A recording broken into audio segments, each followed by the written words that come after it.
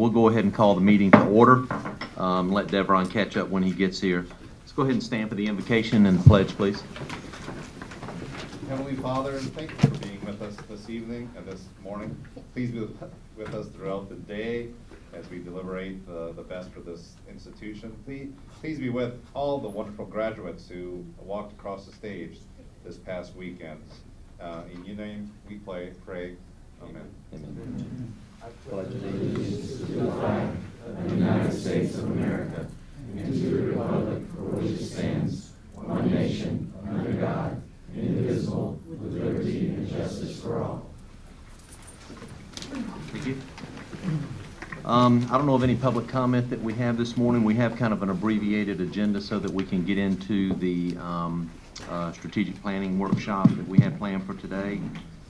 Um, Move right into the, the welcome and objectives and successes. So again, I'd like to welcome everybody. This is our strategic planning workshop, um, really closing out the 2015 year and moving into 2016. Um, Any other comments from any of the other board members? Dr. Long? I want everybody to understand, we had graduation Saturday, it was wonderful. Two ceremonies, 356 students in the morning, 310 in the afternoon.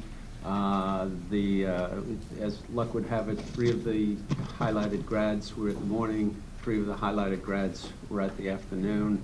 The students loved it, the grads were wonderful. I I thought the whole event uh, brought great credit to, the organization. So thank you very much. It was a very wonderful day.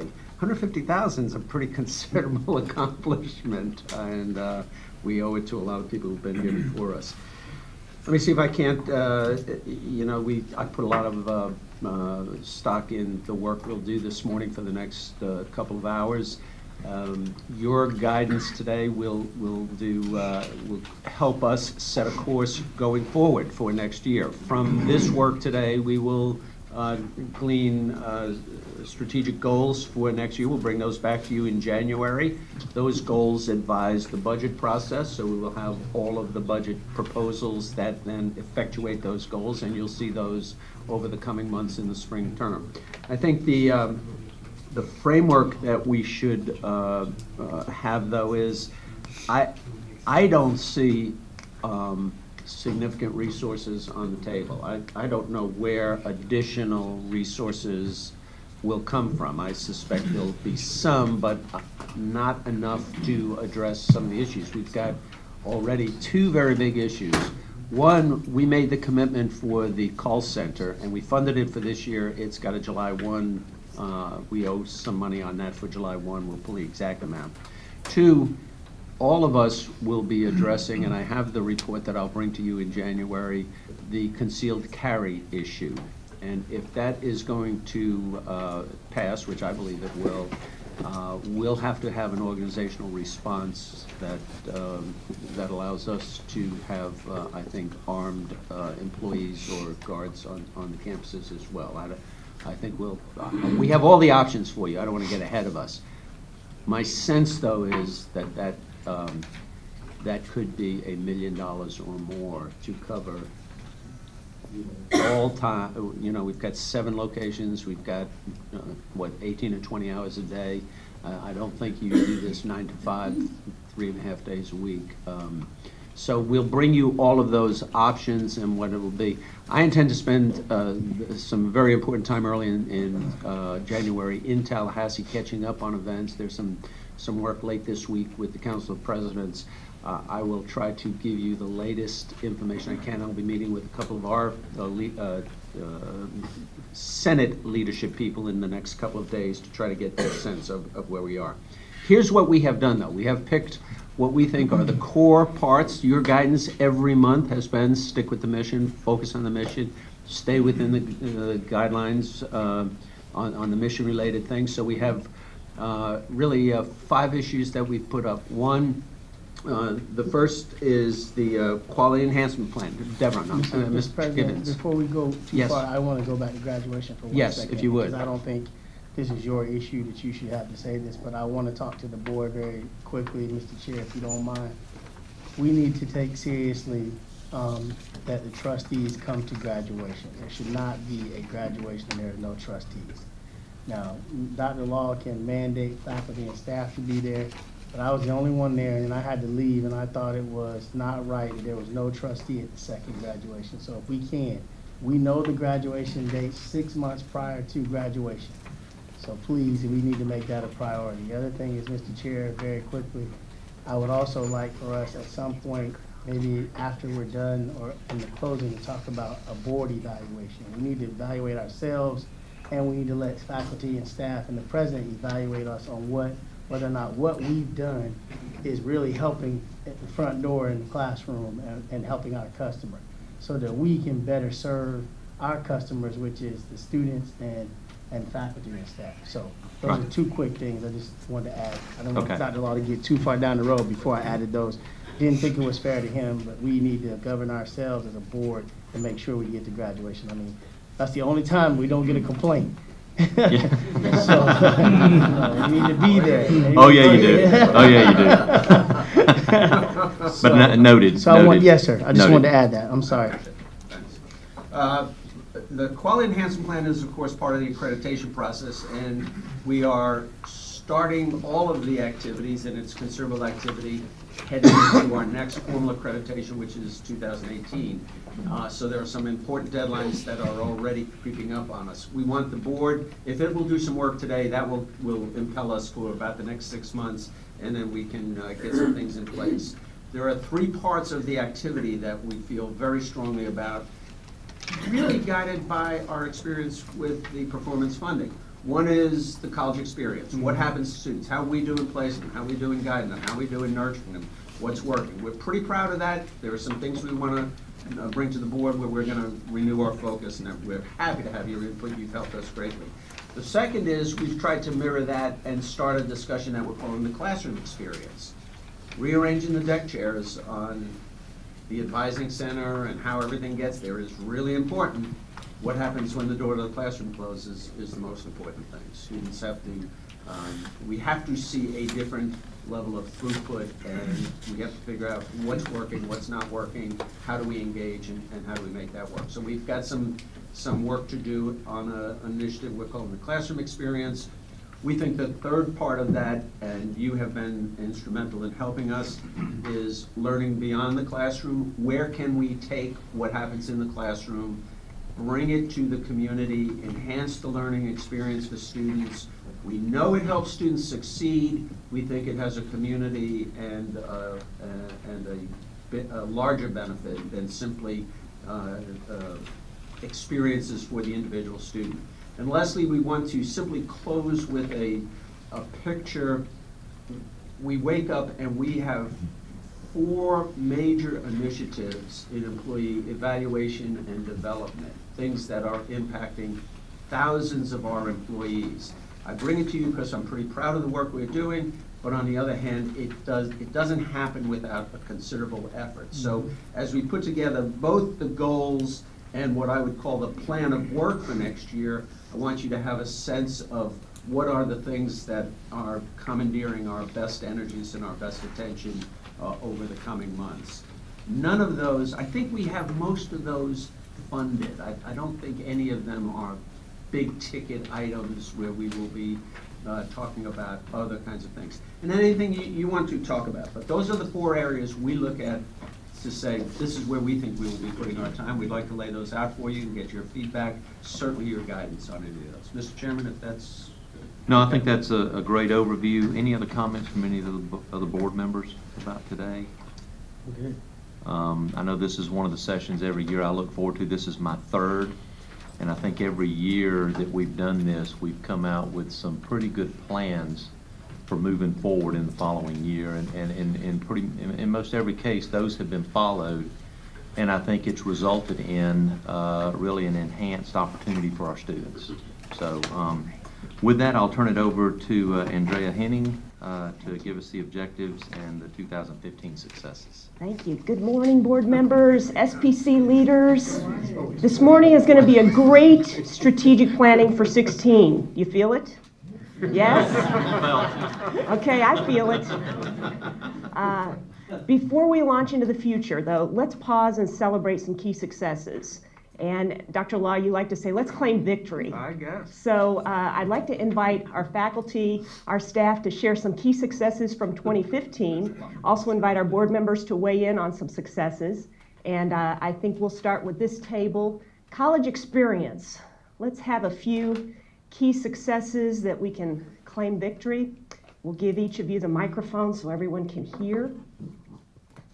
So who can speak to the Time to do college experience? Let's get Thanks, through. Dr. Williams. I She's got not it. shy. Where's all She's the not pros? shy. That's right. Do- do- are Already provost here? Well, These are the people who make this work. Yes. Kevin, why don't you They're so do sh- it? Um, seriously, we, we've had a, a great, um, term so far and an academic year with the college experience. We made commitments to the board that we would, um, improve the career services that we provided. And we have retrofitted, um, spaces and have plans to do that. If you have not been to, uh, Tarpon and some of the other areas, you are missing out. We have made huge changes that has um, caused the team to help students at the front door as well as going out the door. And so I'm very proud of that. We have um, achieved the 20,000th uh, learning plan um, has been achieved. Our goal was to hit 20,000 or more, and we've done that. 20,000 students have um, actual learning plans, and we have done a great job with Smart Start. That um, started this fall um, with your leadership, and you'll be pleased to see some of the data coming forward. Excellent, thank you. Thanks, Dr. Williams. All right, let's move on to the classroom experience. Who can speak to a few key successes? Hi, I'm Sharon Setterlin, Dean of the College of Computer and Information Technology. Currently, we have two um, programs or projects that we're working on in the classroom, and they are embedded projects. The first one is the industry certification. What we have done is we have embedded uh, resources, uh, practice exams, anything that can help the student pass an industry certification, and we're having, we're, it's proving to be very successful. The second thing we have is we have embedded a uh, career-ready preparedness program. We have five AS programs that students must take an internship. And so what was happening is when they get ready for their internship at the end of their program, they didn't have any of the skills of interviewing, of being able to write a resume. So what we've done is we have embedded webinars in our courses that actually take the students through about nine webinars that teach them how to look for a job, how to actually apply for one, how to do an interview when you go out. These were all developed by the career services staff. So we're excited about the embedding that we're doing. Thank you. Good morning. I'm John Chapin, the Dean for Natural Sciences. Um, give you a quick perspective. Uh, we have a series of courses, Anatomy and Physiology 1 and 2 of Microbiology, that students going into our allied health programs and nursing program take. We probably have, well, we have several thousand students a semester that, that take this, these courses. Um, this is my second tour of duty at St. Pete, so this is something that's I have never heard of happening before, but across the campuses beginning this coming semester, we will have a con- not only consistent textbook and lab books, consistent curriculum, consistent scheduling, and an integration of the lab and classroom topics to be the same every week. So now instead of students sometimes being exposed to something in the classroom environment and slightly different in the, cl- in the laboratory environment, they'll have the same topics being discussed and worked on for the entire semester. Doesn't sound very historic, but this is the fifth college I've worked in, and I've never heard of this happening before, and I have to credit our A&P faculty with a wee bit of urging um, to uh, the good work they've done on this. Great, thank you. Any other successes on this side of the room, whether it's classroom experience or the college experience from our Board of Trustees? You can continue to ponder and we'll, we'll come back. Please, Francis? Continuous.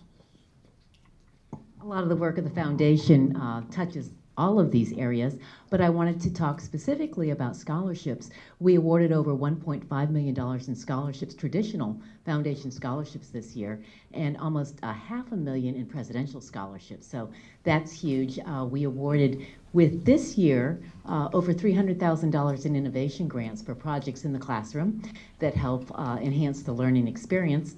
And the last item for the foundation that I'll talk about this morning is the Foundation Speakers event that uh, we launched this year with Steve Wozniak. Great, yes, thank you.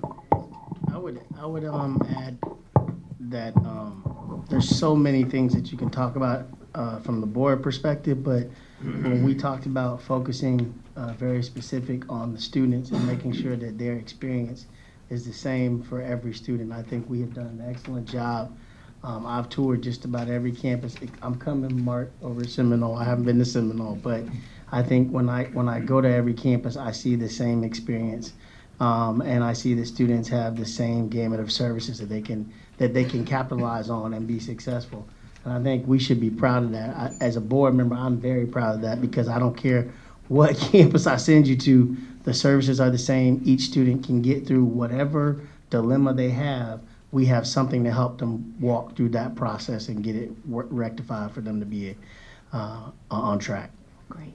Thanks, Mr. Gibbons. I, I, you know, I agree with, with what Mr. Gibbons said, and I think when, when you look at what we do, and we always talk about the mission and, and, you know, kind of how we kind of plow through that, we may do it all in different ways.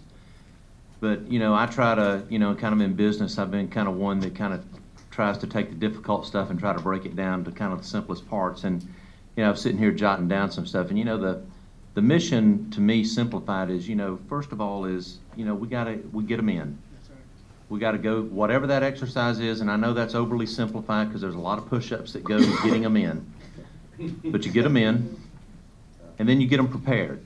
And that's kind of the stuff that we're talking about here, the, the college experience, the, the, the way we do the smart start and those kind of things and trying to get them prepared in the right way. And then, and then the third step is really kind of get them a job or get them a career. And that's whether it's through a degree or through a certificate or through whatever means there is to an end. And so you simplify that, you know, Dr. Chapin talked about the common curriculum. To me, that's, that's again simplifying. You know, that way, you know, I think some ways, and I know my son uh, uh, has, has had his trials and tribulations in going through school. And one of the things the kids, when they're, when they're trying to buy books, trying to figure out which book when, when they're taking the same class and there's three or four different books for them to take and three different lab books, and you got to kind of either guess or make sure you pick the right one. But I think the simplification, the more the simplification that we can make this, I think the more successful again we're going to be in the end. And and it's just my thoughts on how I think about it, but it's getting them in, getting them prepared. You know, you could probably throw a step in there, getting them out and getting them a job. Because that's really kind of, when you look at the steps here, that's kind of what we're doing. Great. And uh, overly simplified, Yes. so. Simple is great. Thank you, Chairman. Please, Dr. Coraggio? you know, loud enough, but the purpose of this, I'll come over the microphone. Um, I just wanted to share, Dr. asked me to share some quick numbers from success rates for the last semester. We have those results in.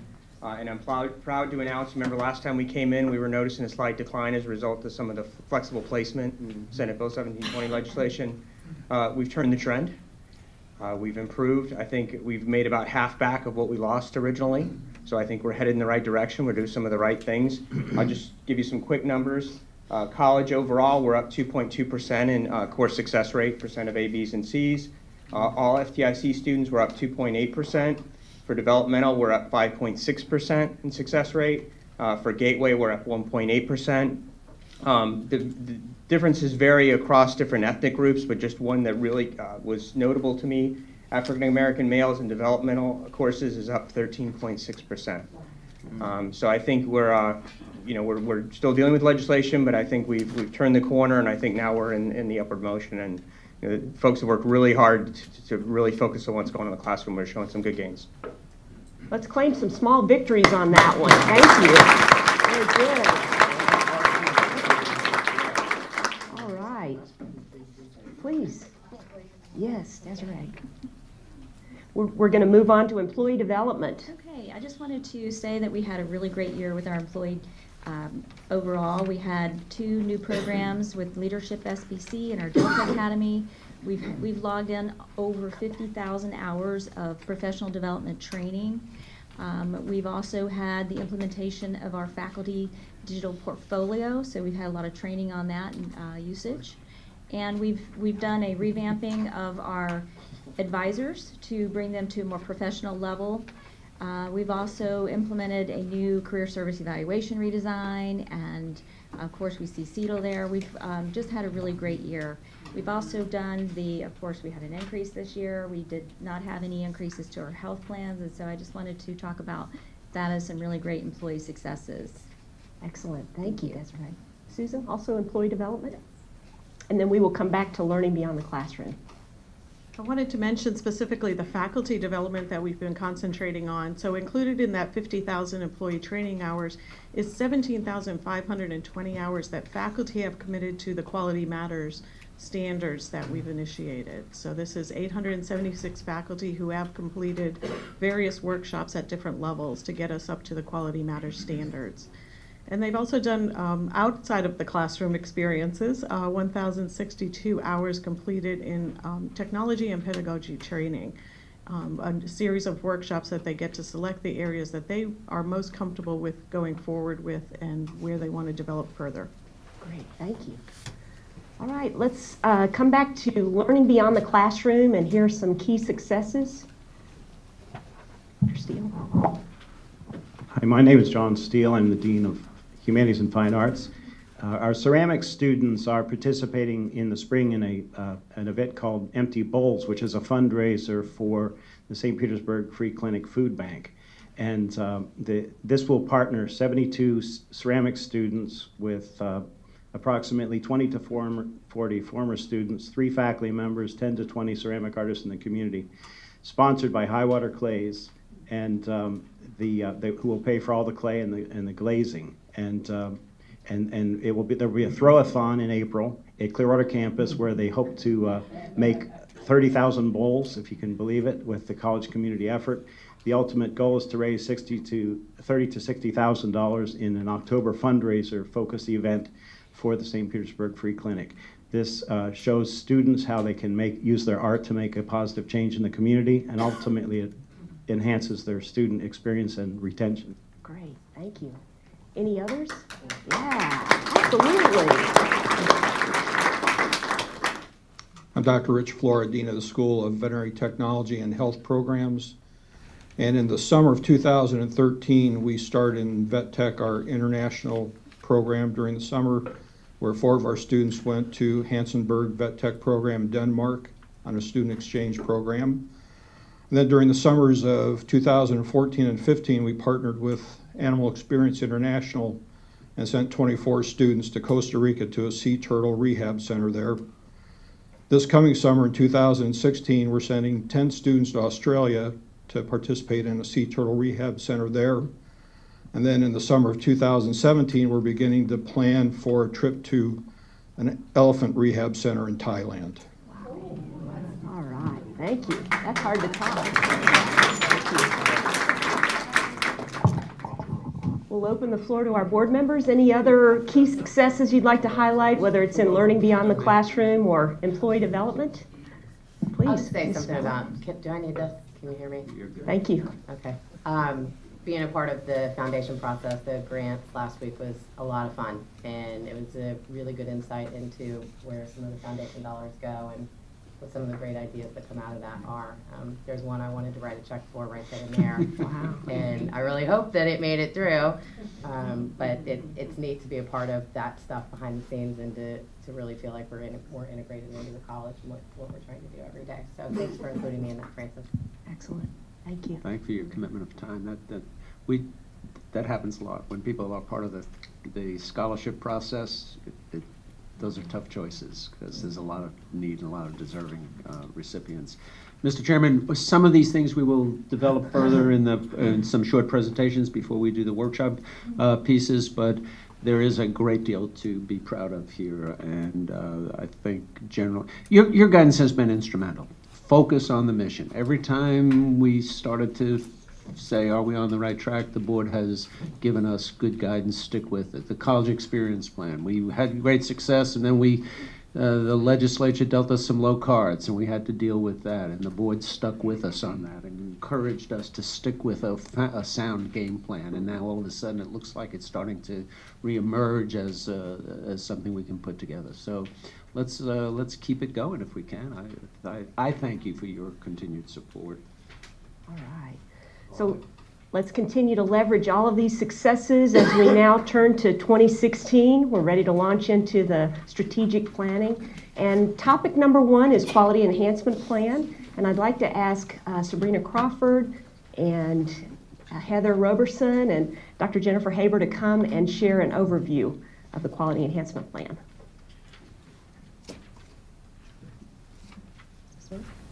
Good morning, members of the board, Dr. Law, happy holidays. My name is Sabrina Crawford. I'm the Executive Director of Institutional Research and Effectiveness. And we appreciate being invited back to, to be a part of the strategic planning um, and to talk to you a little bit about our reaffirmation process, but most specifically about our quality enhancement plan. We came to you in um, September and we gave you an overview of our process that we are using to go through our reaffirmation process. And we mentioned that we have these three concurrent timelines. And just to give you a brief update, our 84 standards, we'll actually have our first draft done by the end of this week, which is pretty exciting and very early. It'll be going to our writing and reading committees in January to do another brief overview, and so we can wrap that process up probably by the end of the spring semester and start putting the polishing touches on those. And that's the report that is due to SACS in uh, March of 2017. We also heard that we have our final um, date set for our on-site visit, which is October 10th through 12th of 2017, so we're looking forward to that already. And our administrative unit assessments are well on, underway on their process. Almost every unit has uh, produced their first set of reports, and they are being currently reviewed by our vice presidents um, for uh, review and approval so that we'll be moving on to our second round. But today we're really here to talk to you a little bit about our quality enhancement plan. And as we're talking, we want you to feel free to jump in at any time, ask questions. You do not have to wait to the end. But to remind you about the Quality Enhancement Plan, this is our faculty, faculty-led initiative where we get to pick some specific area that will have the greatest impact upon student learning. Um, I have in your packet uh, an overview of our last Quality Enhancement Plan that we did about seven years ago. And that impact report really shows um, the ability of this project to have some wide sweeping effects on student learning and the college as a whole. This was a critical thinking project. It touched almost every student in the college and every faculty member. And our college was actually one of the first groups of colleges to go through the reaffirmation process needing a quality enhancement plan. And at that time, these, these uh, plans were supposed to be sweeping, were supposed to be something that encompassed the entire college family. And what we've learned over the course of the 10 years is that you have a better impact, or you have a possibility of a better impact, if you can hone that topic down and really look at a specific needed, needed audience and really develop the strategies that are going to help student learning for that specific audience. And that's what we've been focusing on for the last four months. Um, as you can imagine, at our college, if you ask our faculty members what kind of things can we do to improve student learning, we have a wide array of ideas. Everybody wants to have their voice, voices heard, and this process of having everyone give out their perspectives is what we're bringing forward to you today to share what we've learned from them and also to allow you to be a part of that process and to share your perspectives with us so that we can add that into our thinking as we move forward in January and really hone down our two broad-based concept areas into a specific topic that we can bring forward to you um, for final approval. Just to kind of get an idea of this iterative process, uh, we started off our topic selection feedback uh, group in August, where we really started kind of looking at what are these topics, how can we pre present these topics, how can we gather these topics. We gathered together in a collaborative lab in September, and we brought that feedback back to the executive teams and to our, all of our constituents, as well as to you. We then went back out and did a series of focus groups. Uh, and we did some surveys, which you'll be hearing about all through November. We came back to the executive team and, and, to our constituents and shared that, and now we're sharing those perspectives with you to give you an opportunity to share with us as well. So with that in mind, I'm going to turn this over to Jennifer. Good morning. My name is Dr. Jennifer Haber, and I am the QEP Faculty Chair. And so I'm going to share with you some updates since we last um, saw you. So, as you can see from this slide, we have been very busy. We, um, between September and October, we hosted 14 open forums. So, we went to all the campuses um, and some of the campuses twice to talk to faculty, staff, students about possible broad based concept areas. Actually, we talked to about 150 faculty and staff, and it was exciting to hear their perspectives about what we could take on here at St. Petersburg College. We also had an online forum with the online learning services, and we were able to capture those people who were not able to attend one of the open forum sessions, and so it was great to, to hear their perspective as well. Uh, these sessions were really a way to pose a question to faculty and staff and students, such as what is the greatest need at St. Petersburg College, and then to hear their insights. We also made sure that we, take, we took careful notes during these sessions so that we could, of course, look at the qualitative ideas that were presented to us. Um, probably the most exciting part for me thus far has been talking to students. It's great to hear their perspective about what they see as the greatest need. So, we went to three different campuses and talked to close to 200 students. Um, we asked them the same kinds of questions. They had similar things to faculty and staff, but they also had some different ones. So, it was really great hearing their perspectives as well. I think probably my favorite part was the collegiate high school because those students are very um, bright, honest students, and so it was great to talk with them for an hour and to hear. You know, they. I think we could have gone three hours. They wanted to talk, so it was a really great experience. So these were the original seven topics that we started with. So you'll see some of these as we move throughout the morning, but um, the ones that seemed to be captured the most were the first year experiencing experience, strengthening writing, college readiness, um, increasing success in online courses. But these were the original topics that we started with. We got those from the collaborative lab, and then we created a Wordle to capture some of those key terms. I thought this was exciting as well because I like that students came up in the forefront of, because this is all about students, of course. And so you can see that students, engagement, um, and then things like first year, cohort, learning, of course, is a great term to focus on. So these were some of the items that were captured in those focus groups. And again, the idea was that we took the notes from all the focus groups to find the keywords that emerged. So we were able to get it down to what we call four broad-based concept areas. So these areas became the first year experience, strengthening writing, college readiness, and the online experience. We then wanted to look at some of the strategies because obviously those are those are broad-based concept areas. So we wanted to look at also some of the strategies that faculty, staff, students were talking about. So you can see things up here such as mentoring, cohorts, learning communities, competency-based assessments, and then some of the latter ones would be reading, math, writing. So those were some of the, the strategies that came up again and again in the dialogue, again from students advisors, faculty, staff. Um, so, so those are some of the key things that we saw. So then we wanted to continue gathering information. So what we decided is that we also wanted to involve the workforce. We know that this is a broad-based initiative. We want to get everyone's opinions, even those people in the community and beyond.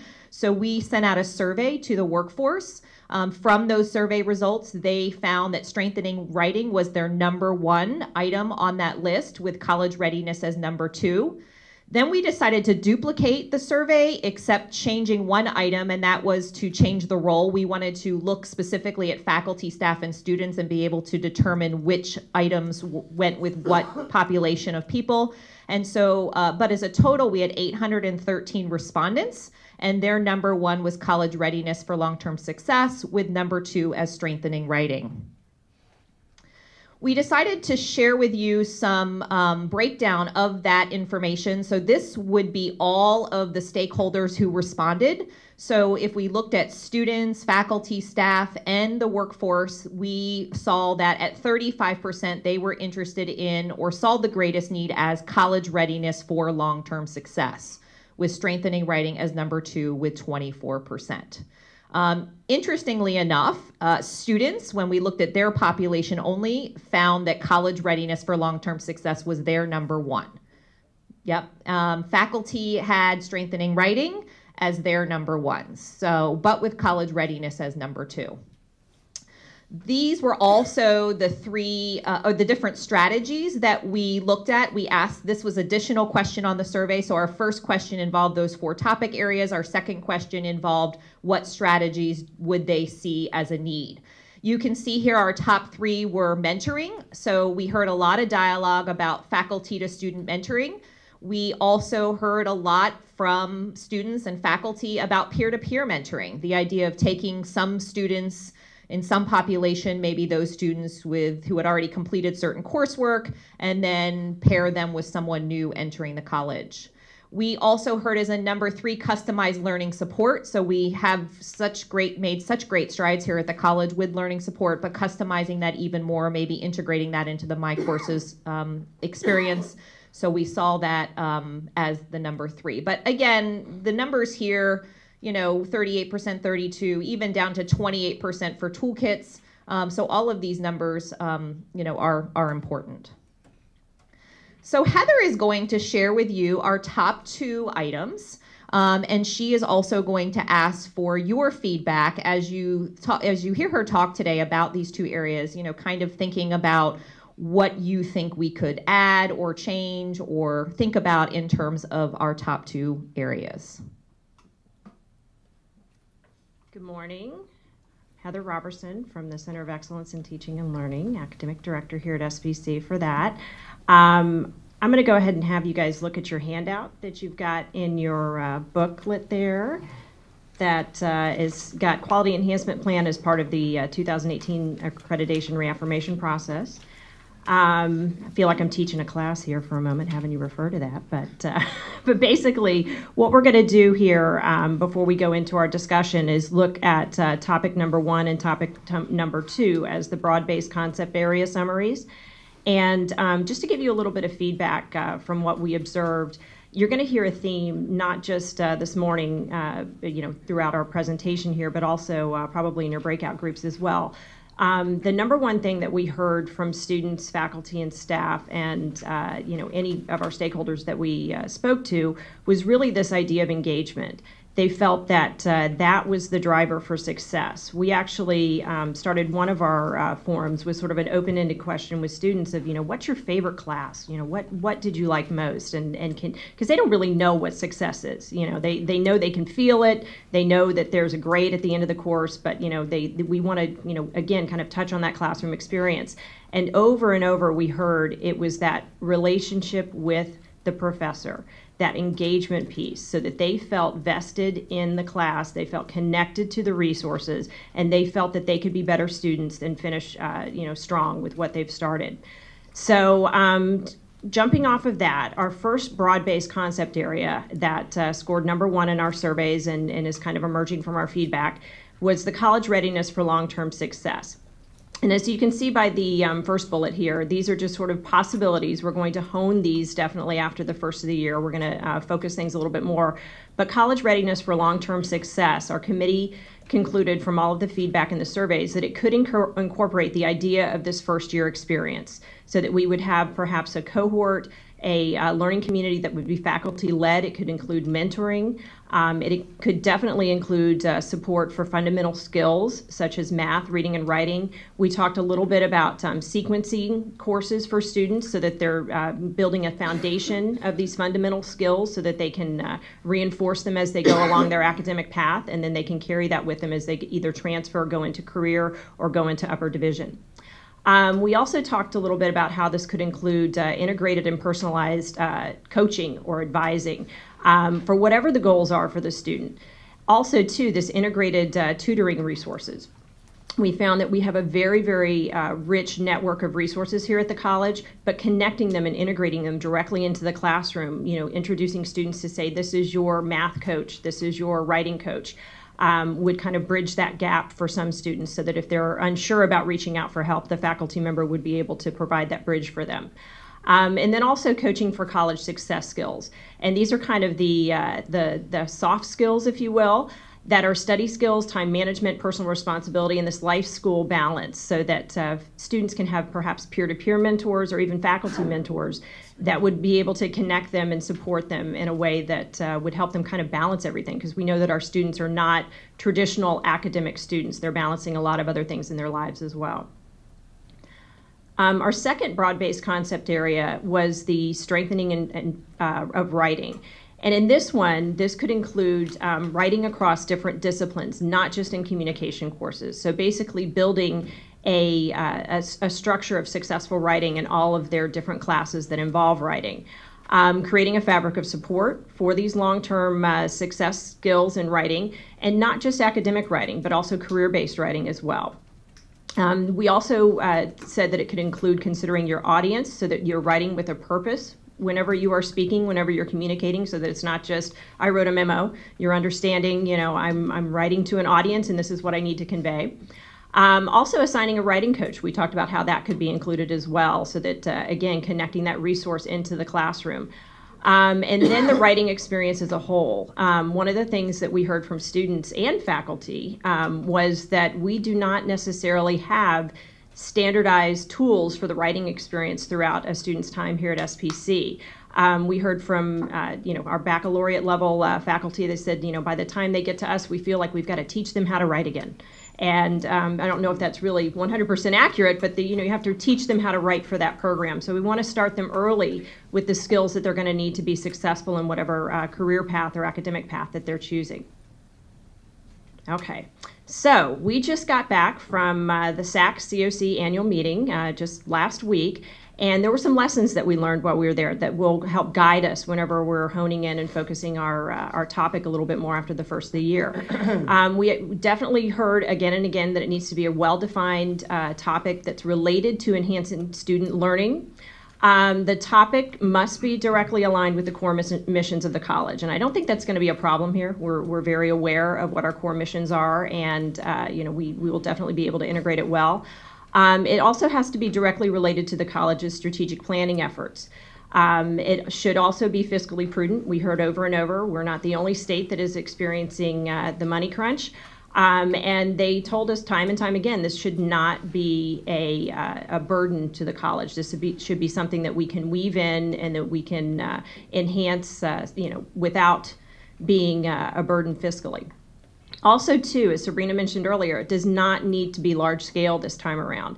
We're in the second round of the uh, quality enhancement plans for SACSCOC, and they've learned a lot in the past 10 years, and now they're telling us what we need to do uh, differently this time around. And um, they are very much uh, wanting to have a more focused rather than a broad-based uh, uh, topic so that you can really hone in on those measurable student learning outcomes. And that was one thing over and over. They said they want it to be impactful in the student learning arena yes the student learning environment is there as a supporting role but there should be measurable learning outcomes that are related to student learning as the primary goal so that you can see how your efforts are, are working well or not working well. okay, so our next steps um, after uh, you know the fall break, we're going to come back in spring. We're going to continue our uh, quality enhancement uh, committee, topic selection committee, and we're really going to delve into the data and we're going to look at uh, where are these critical areas of needs in these two broad-based concept areas. Um, once we hone in on a topic, we're going to come back to the uh, BOT in April and uh, bring forth a recommendation on a very focused topic with all of the supporting uh, information to uh, help you all make that decision. Um, and then we have a summer institute that uh, we will be probably taking some quality enhancement uh, committee uh, members to. Then we start our writing in the fall, um, and we will be writing all the way through until we have our believe we've got our first draft we'll be due in May is the schedule that we've got it on, and then uh, we'll actually submit it to SACS in August of 2017. Um, and then, as Sabrina mentioned, we will have the on-site review committee in October of 2017, and that seems like it's a long way away, but it's right around the corner. All right, so what we would like to do this morning is get some feedback from you all as stakeholders as well, and really get some guidance on um, in these two broad-based uh, concept areas. And again, I'm going to refer you back to your handout. Um, you know, are there any supporting strategies that are below number two there in the uh, bulleted points that you can see that, that kind of jump out at you that are essential for student success? Is there anything that that you think, you know, oh my gosh, this is this is a game changer. This is something that uh, you know we need to focus in on a little bit more.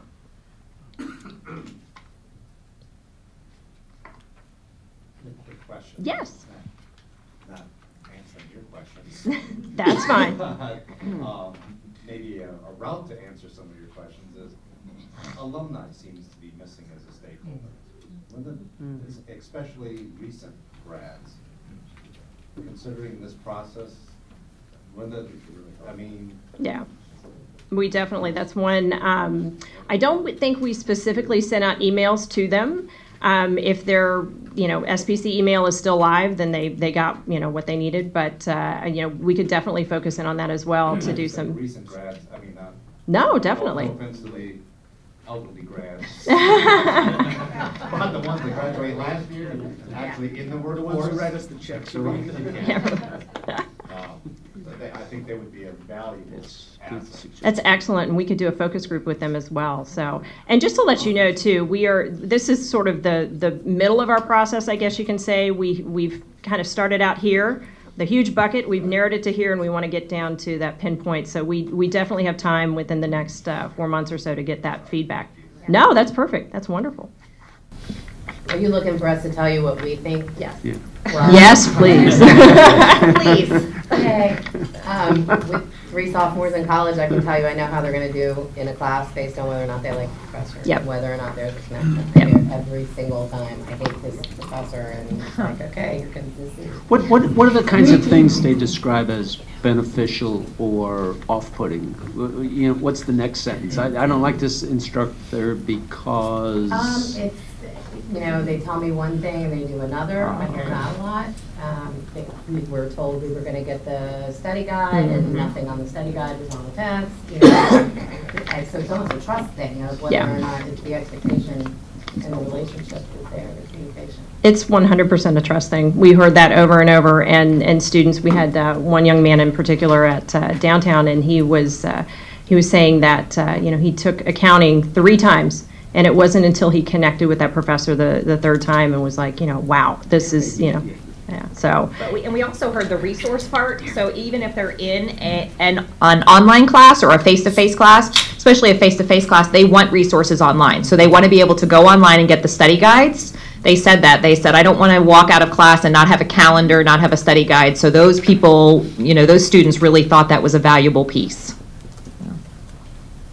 I would, um, I would add that, um, for years, um, I- remember a story that Jack Kemp was telling about in DC, he was talking about, um, the quality of his staff.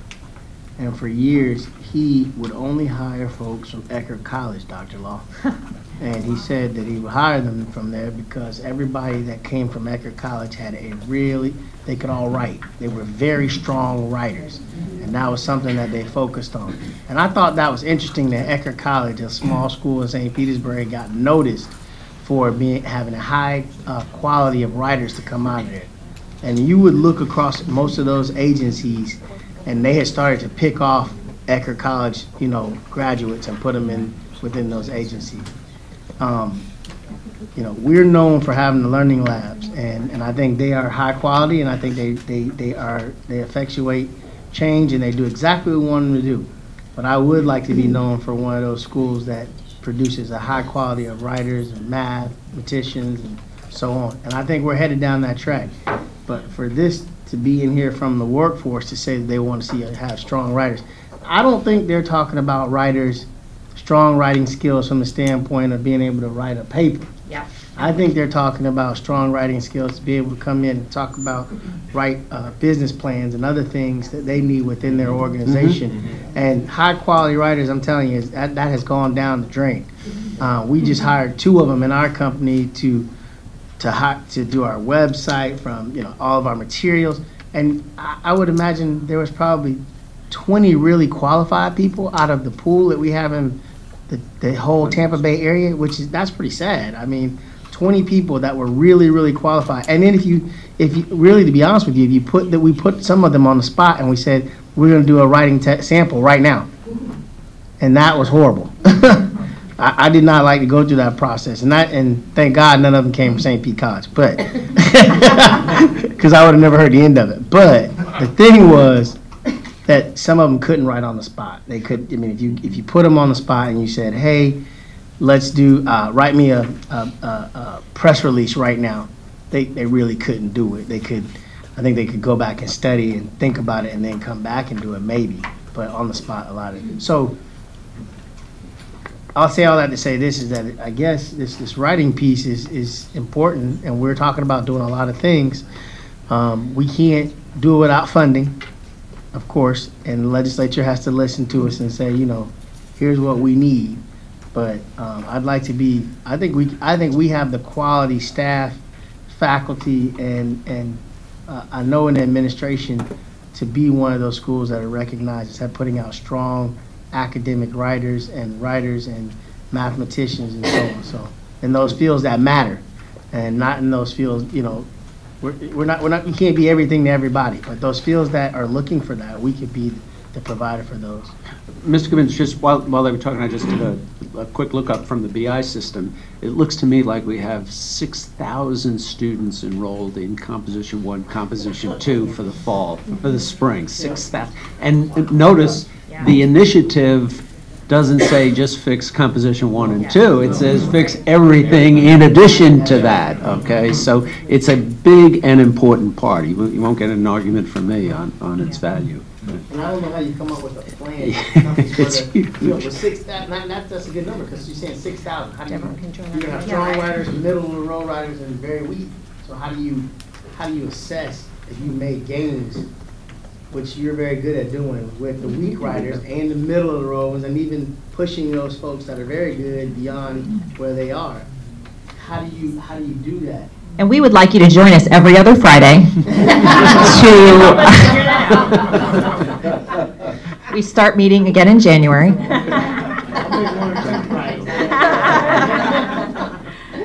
I think, I I think the process that that you went through really is kind of, really kind of homed in on Yep. really the two, Yeah. key- the two key pieces here.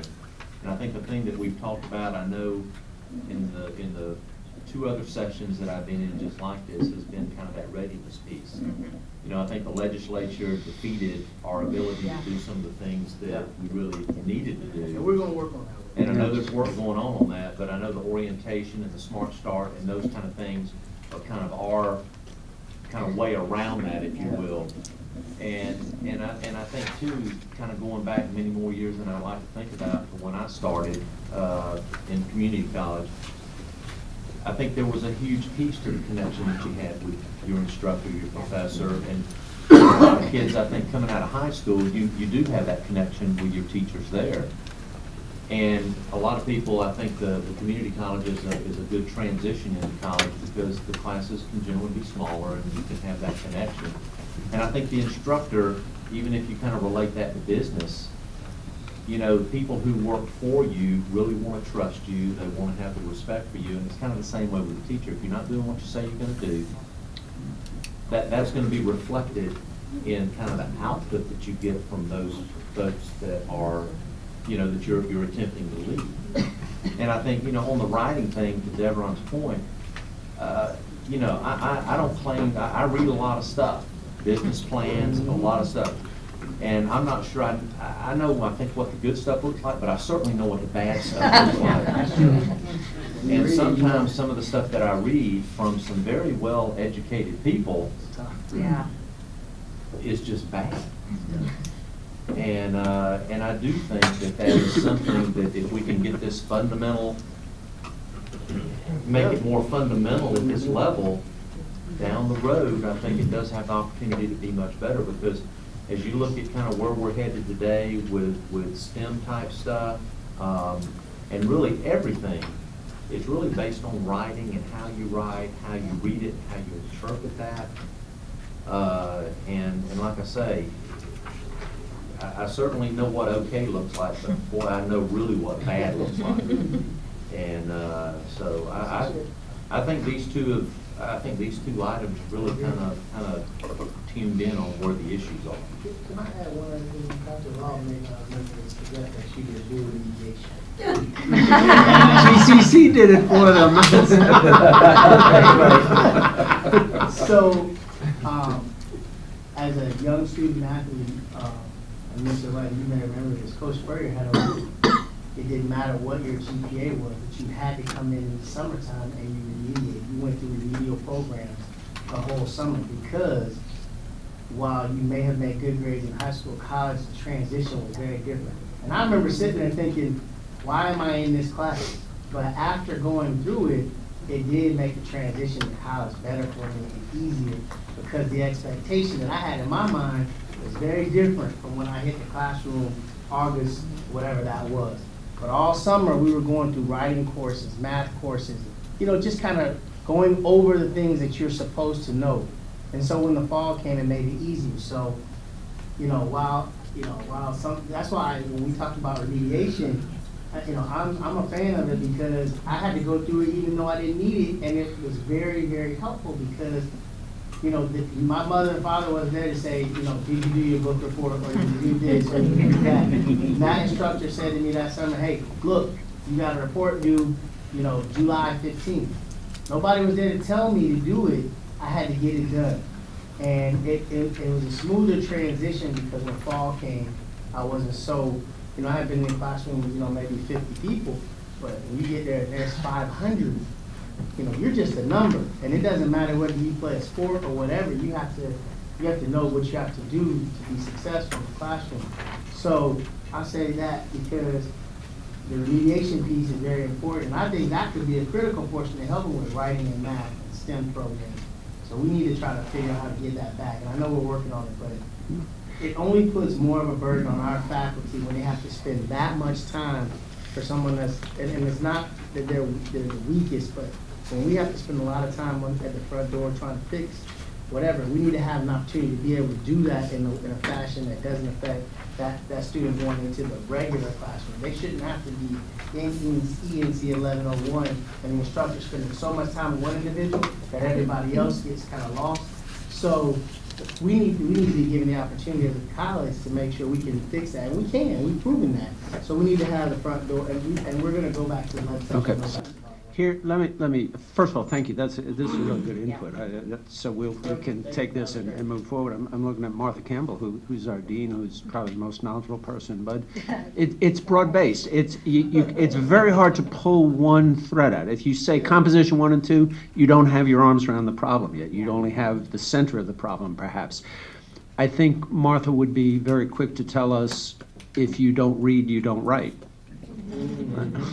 Okay, so now let's talk about students' general reading skills that they bring to us and what's our response on that piece. And then has, so you see what a quality plan does is say, take a holistic view. How are you going to remediate this? But you don't pick one group and say, let's make composition one, the, the best composition one in America. Well, we want that, but you can't get there from here. So, so we want to work on that. The other, other part that, that gives me some encouragement, it's a big issue.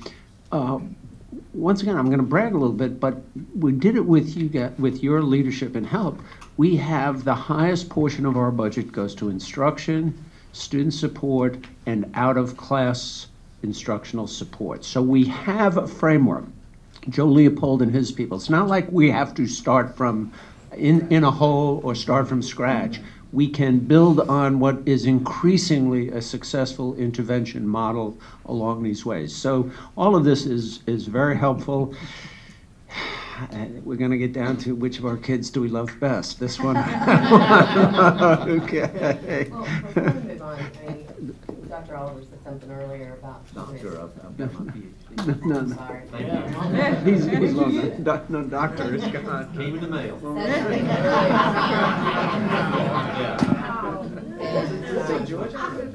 Okay, I'm gonna stop talking. You're up. You done?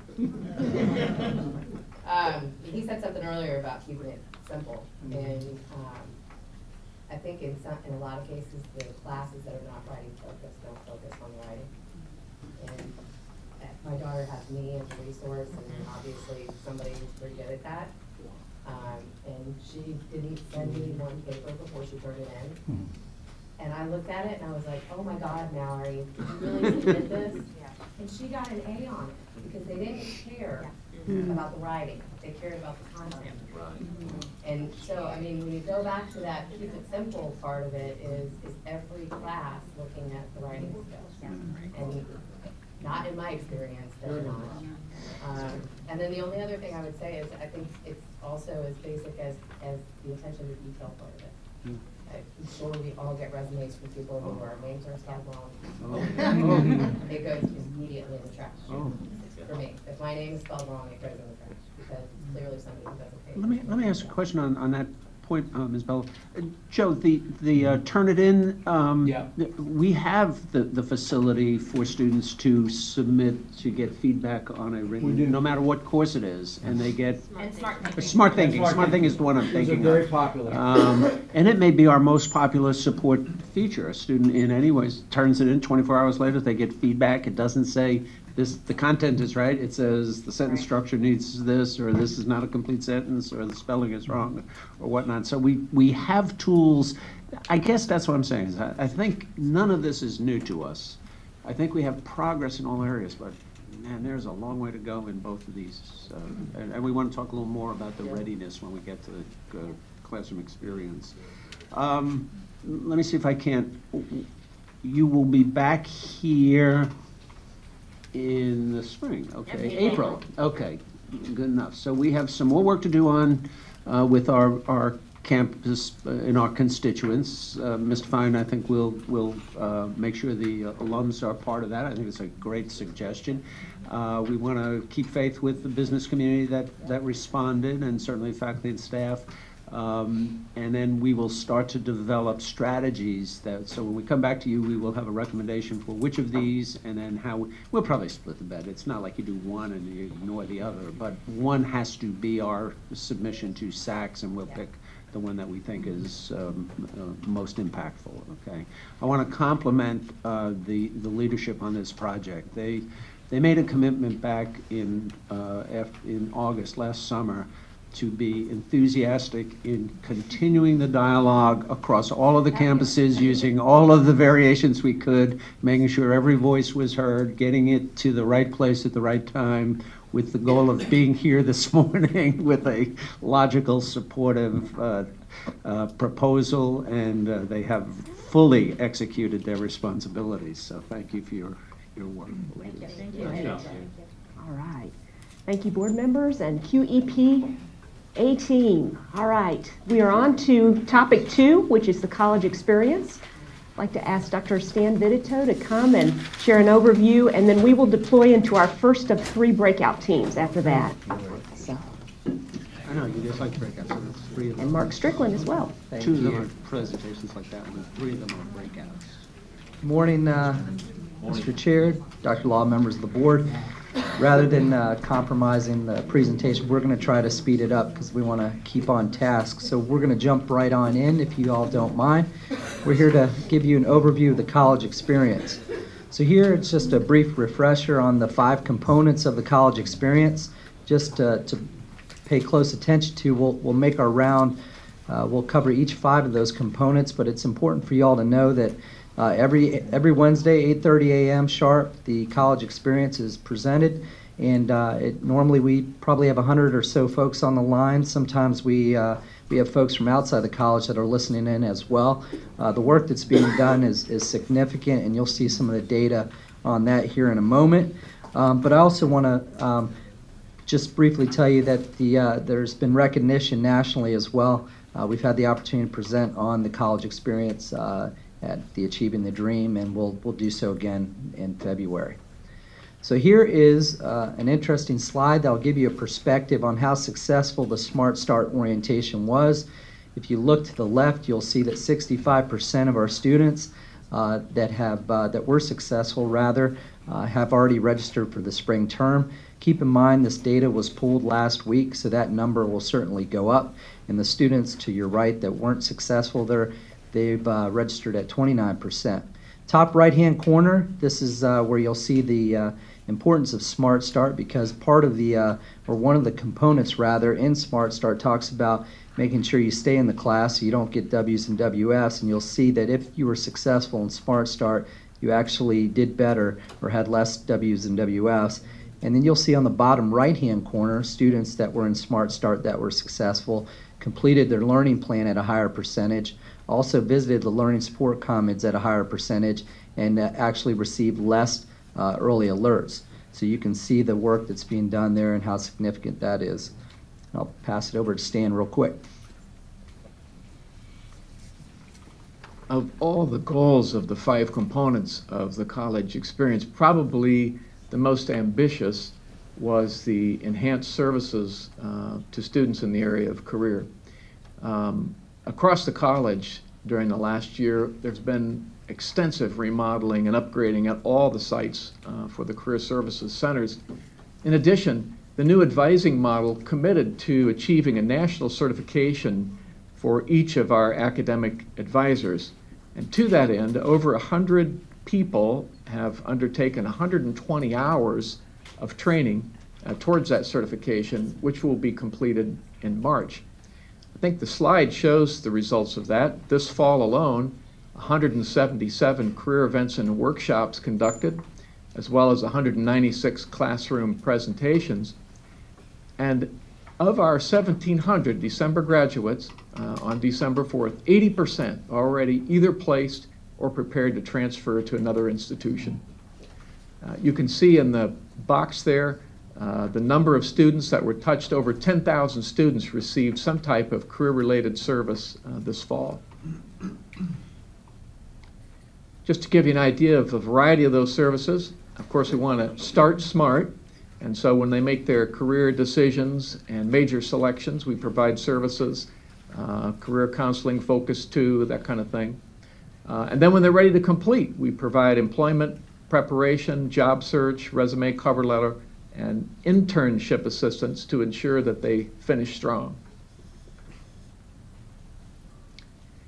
I think Stephen Covey famously suggested that successful people begin with the end in mind. And of course, having a career goal is that end. But in order to achieve that goal, you need a plan.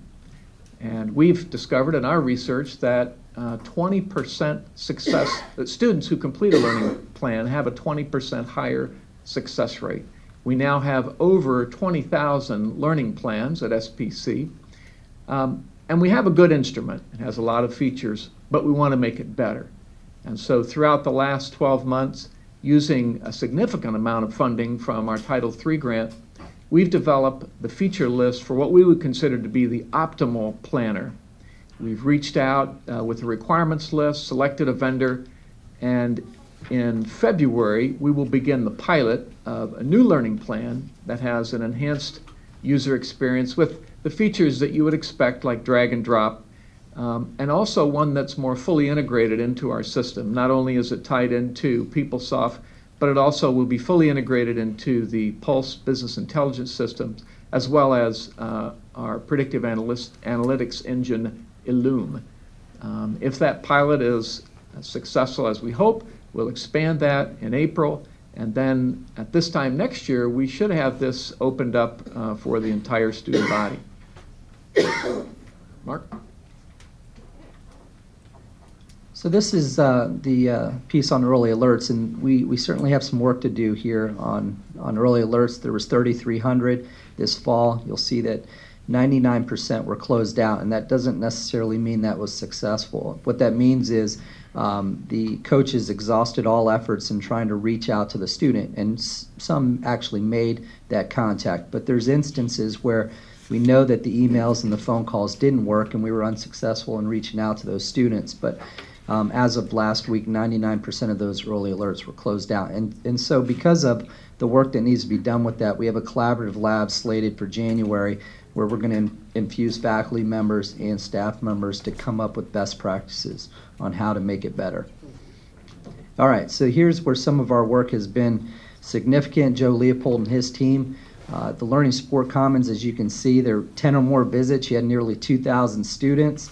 Um, we've had an increase in faculty support each week during the webinar. Uh, We have a person that details how many hours that are, that are given by the faculty member, and, and that's certainly great to see. Um, We've also integrated the advising and the learning support component, meaning if an early alert, for example, is sent and it's an academic concern, it's going to the learning support commons. And then we're also um, reaching out to students that are on poor academic standing as well. So here's our next steps. Um, we we want to bring Dr. Renard up to the podium prior to getting to our, our next steps, though. Dr. Renard? Thank you, Mark. Good morning, members of the board, Dr. Law. Um, Dr. Williams has a term uh, which is we need to go dumpster diving, which to, to us means we always have to go in and, and find problems and, and solve those problems. And um, so we- I was challenged to uh, get the diplomas to students quicker. You're all familiar with these diploma covers when you hand them to, to graduates at, at graduation. What you may not know is that the actual diploma doesn't get to the students until about four or five weeks after graduation. And I'm happy to report that uh, through a partnership with IT and marketing, who actually prints the diplomas, we're going to have the majority of these in the mail by the end of this week for our students who graduated this weekend.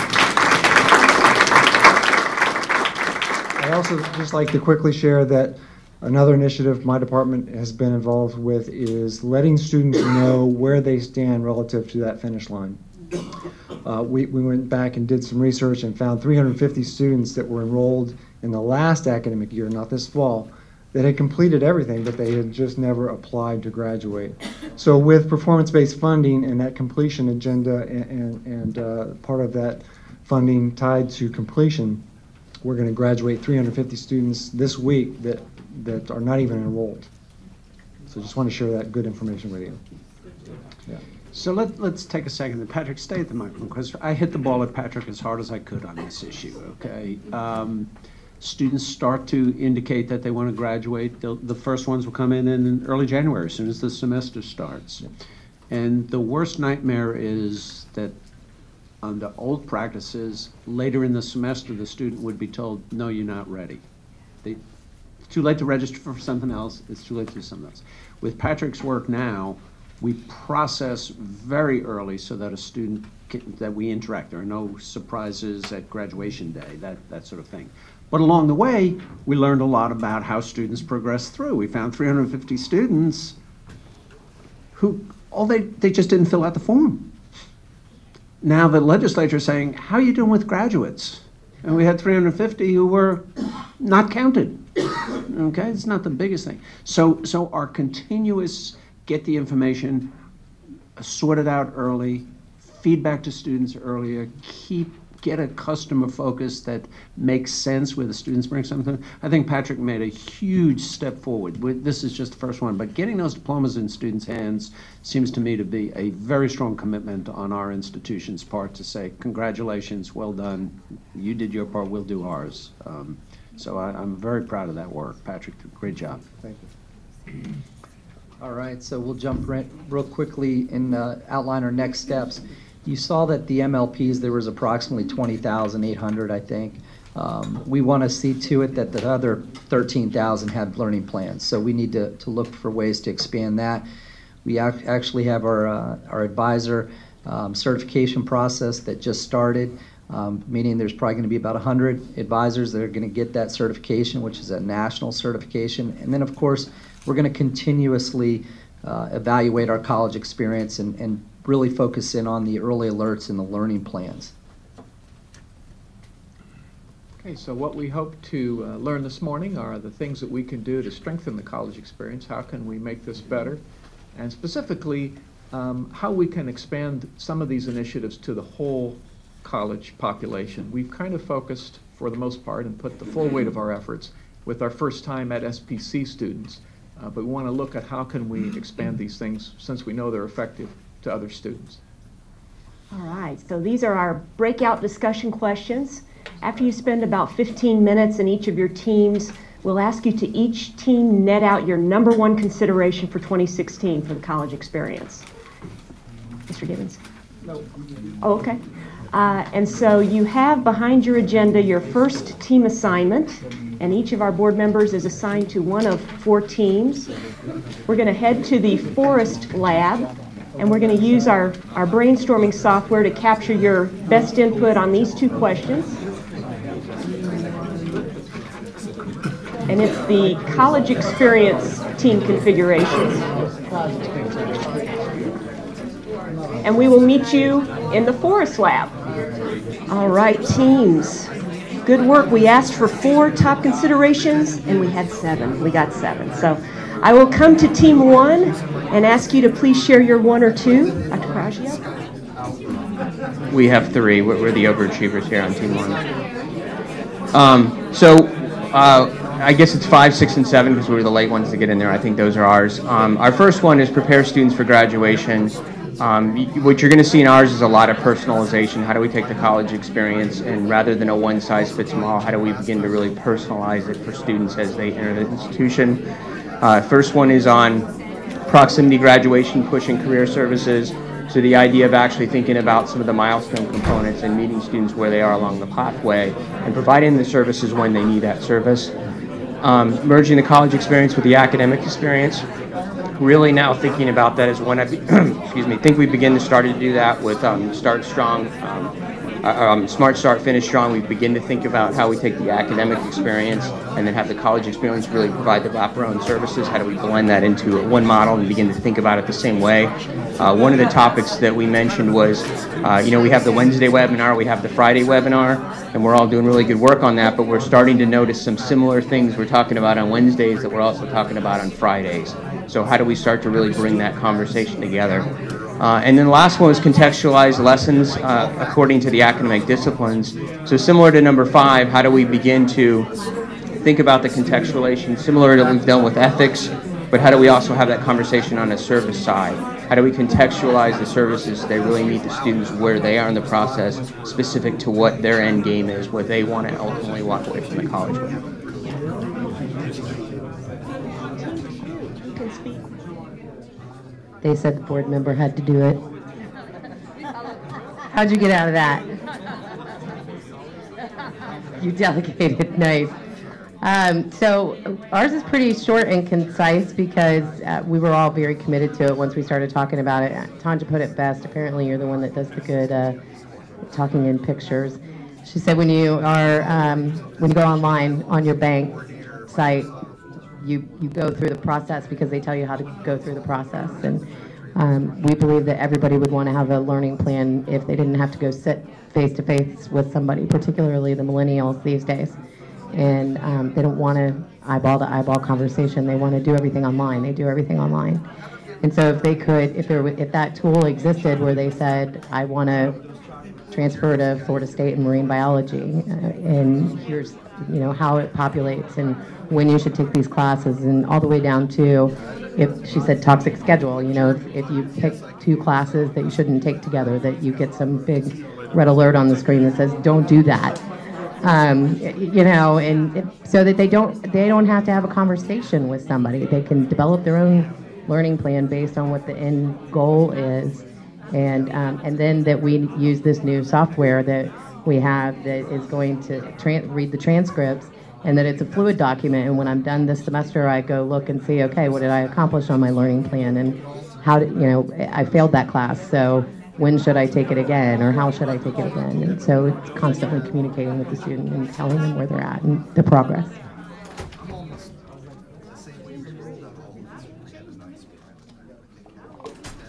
We're very focused on the uh, out-of-class support. We wanted to formalize the communication to students about where they could, where and when they could find out-of-class support based on the different discipline areas. We also wanted to include in that peer-to-peer mentoring and tutoring, and we wanted to begin the process when they are in the Smart Start, where they will meet a tutor for math and meet a tutor for writing, so they have a go-to person that they're already familiar with, that they've established a relationship. Team four, who can speak on your behalf? I guess I will since I wrote it down. Um, Ours really just focused on using the capacity, I think, of, of my courses a- along with more consistent use of my courses by faculty. I think the two go together. But we all know that right now, early alert is very labor intensive and somewhat limited in its scope. And in order to get uh, this whole concept of, of alerting students um, in a more comprehensive manner, we think the features are there and that- we should expand the use of them. And I, we've used the intelligent agent components. I know we're already talking about that, but think it's a, it's a critical factor, so. Dr. Duncan. Any other considerations we want to capture for 2016 focus on college experience? We were overachievers too. We had a second one. So um, our second one was um, number three on there, follow up with those who don't complete Smart Start, but were successful as far as those that weren't. So we um, obviously wanted to um, talk about our success today with the first time of Smart Start, but there were also those students that didn't complete. And so we need to look back and do some research to figure out what are those characteristics of those that didn't complete Smart Start and then also weren't successful to see how we can help them. And then also find out those that weren't successful and didn't complete Smart Start, but then completed the semester successfully and see what those characteristics are as well. All right, we have great feed- feedback now for 2016 for the college experience. We're ready to move back into the tropics where we will focus on the classroom experience. And so I invite you to uh, quickly meet back with us in the tropics lab. Welcome back, welcome back. Please take a seat. We are going to launch into our third topic, which is the classroom experience. We look forward to hearing from Dr. Ann Cooper and Dr. Jesse Coraggio. Good morning, Mr. Chairman, members of the board, Dr. Law. Um, As you've been hearing, much has been done in regards to the college experience to make sure that our students arrive to their classes ready to learn and to be successful.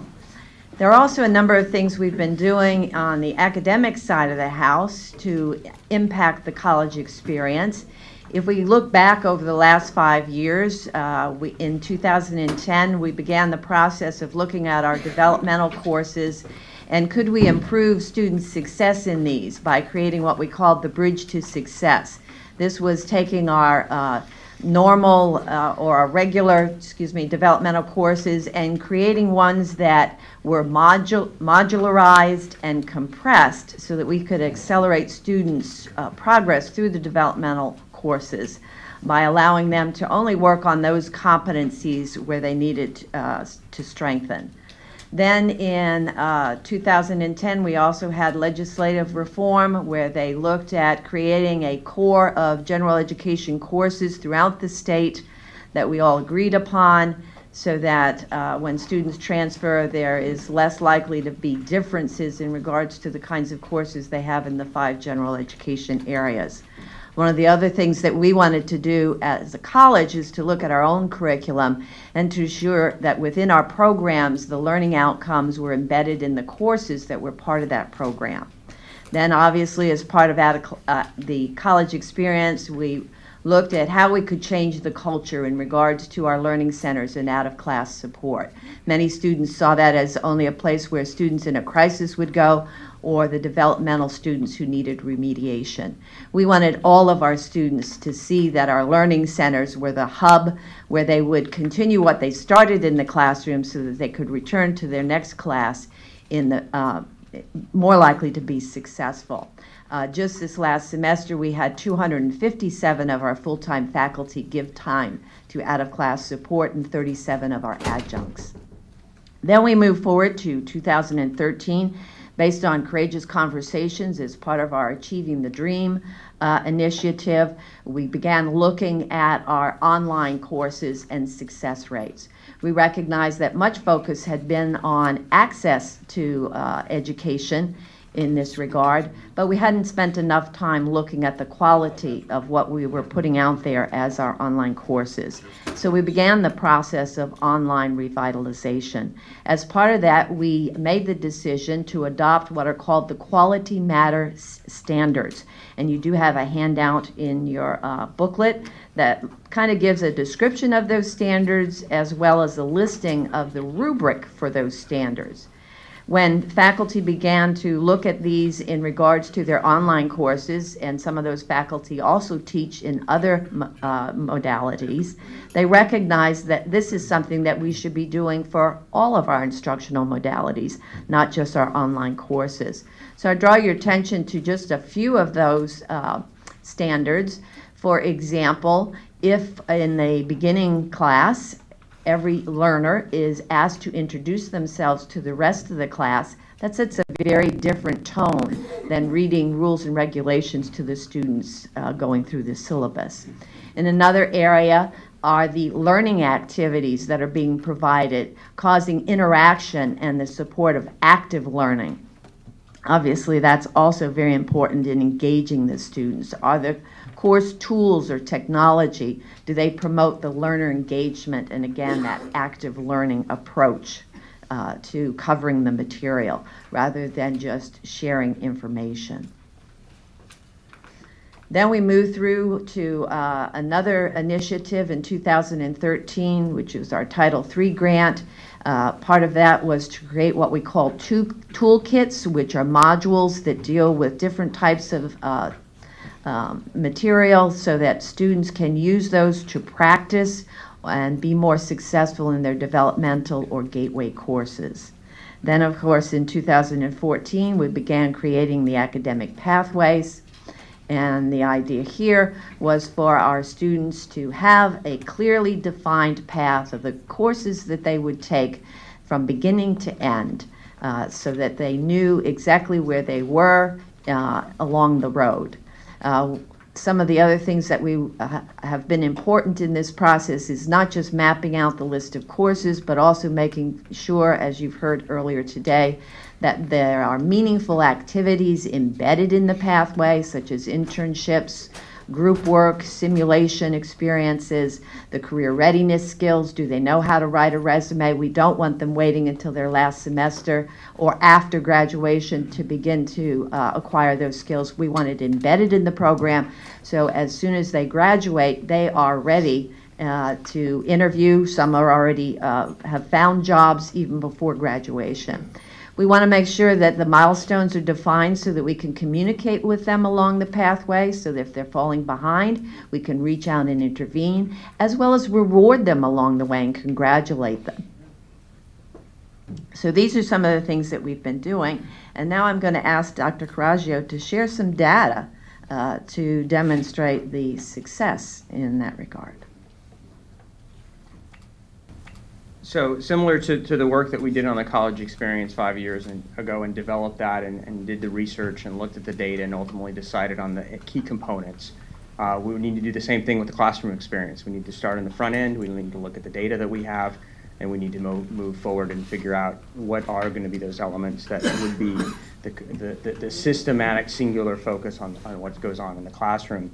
Uh, and we had to look re reflectively look at ourselves. So this is some data that we pulled a few months ago uh, what we're looking at across the, uh, the bottom of the x-axis there is the percentage of faculty teaching courses, and we've sorted them uh, by success rate. So we're looking at summer 2014, fall 2014, and spring 2015 all put together in a singular data set.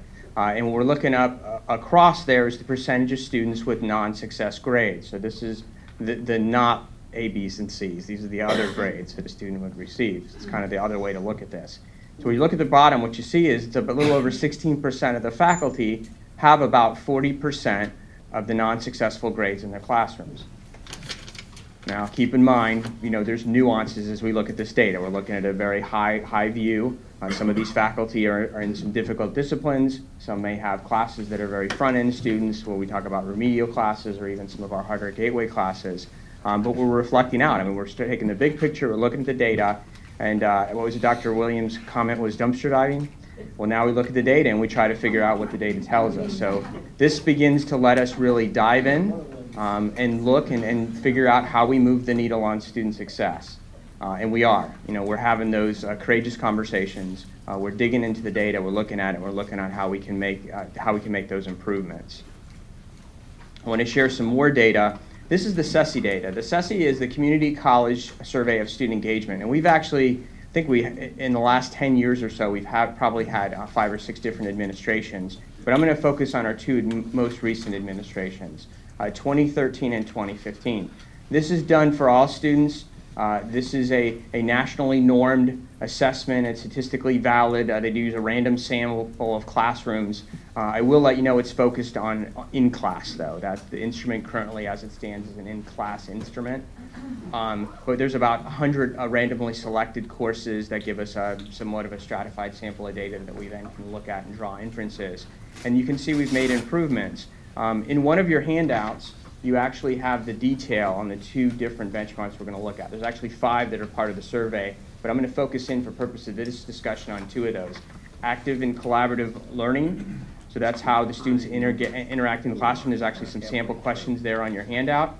And student-faculty interaction. Now, we just had a great conversation, so some respects it's a great segue to this conversation as we begin to look at that, some of that data. Um, but these are, if you look at some of the questions, this is even the faculty-student engagement outside of the classroom is included in, in, this discussion as well. Now, as we look at the data there, uh, what those benchmarks are is they basically normalize the data so the mean is 50, the average is 50, and the standard deviation is about 25. Uh, so it's going to be focused there kind of on the center. If you want to know what the value is for all CCSSE institutions, it would be 50. So you can see we've, we've made a little bit of improvement in active and collaborative learning over the two years. And just so you know, when you look at change, change is very small as it, as it occurs administration to administration.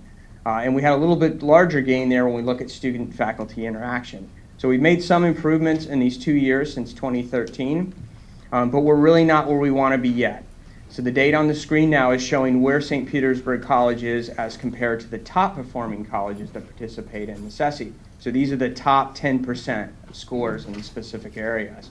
Uh, and you can see we have, though we've made some gains, we're really not near where we want to be yet, and we have some room to improve there. Um, so this is some data we're going to look at. We're going to continue looking at more data. Um, this gets down into some of the specific question areas. Uh, these were three of our lowest scores on the entire instrument. Two of them were in active and collaborative learning, one of them was in the, the benchmark area of student-faculty interaction. So I'll just run through these specific questions. Uh, 4A, which is the first one there on the left, is asked questions in class or contributed to a class discussion. Uh, now, these are percentages. These aren't benchmark scores. So this is telling us that for St. Petersburg College, 60.6% of the respondents either responded often or very often to that particular item. That's in comparison to the entire CCSSE cohort, which was 65.2%. Our next question worked with other students on projects during class. So at St. Petersburg College, we had 43.6% say often or very often to this particular question. The cohort overall had about half the students respond uh, often or very often to that question. And then the final one is in the area of student-faculty interaction, work with instructors on activities other than coursework.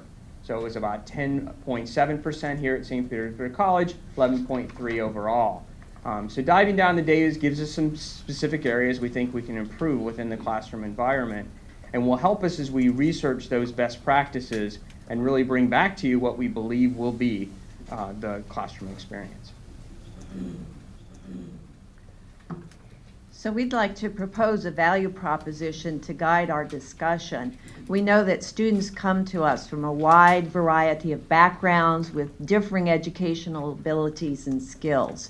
But we feel that every student has the right to expect a supportive, consistent, quality education experience regardless of the location, the modality, or the discipline within which that's taking place. In other words, shouldn't every class that our students experience create that learning community where they are engaged and experiencing active learning so that they are likely to be successful?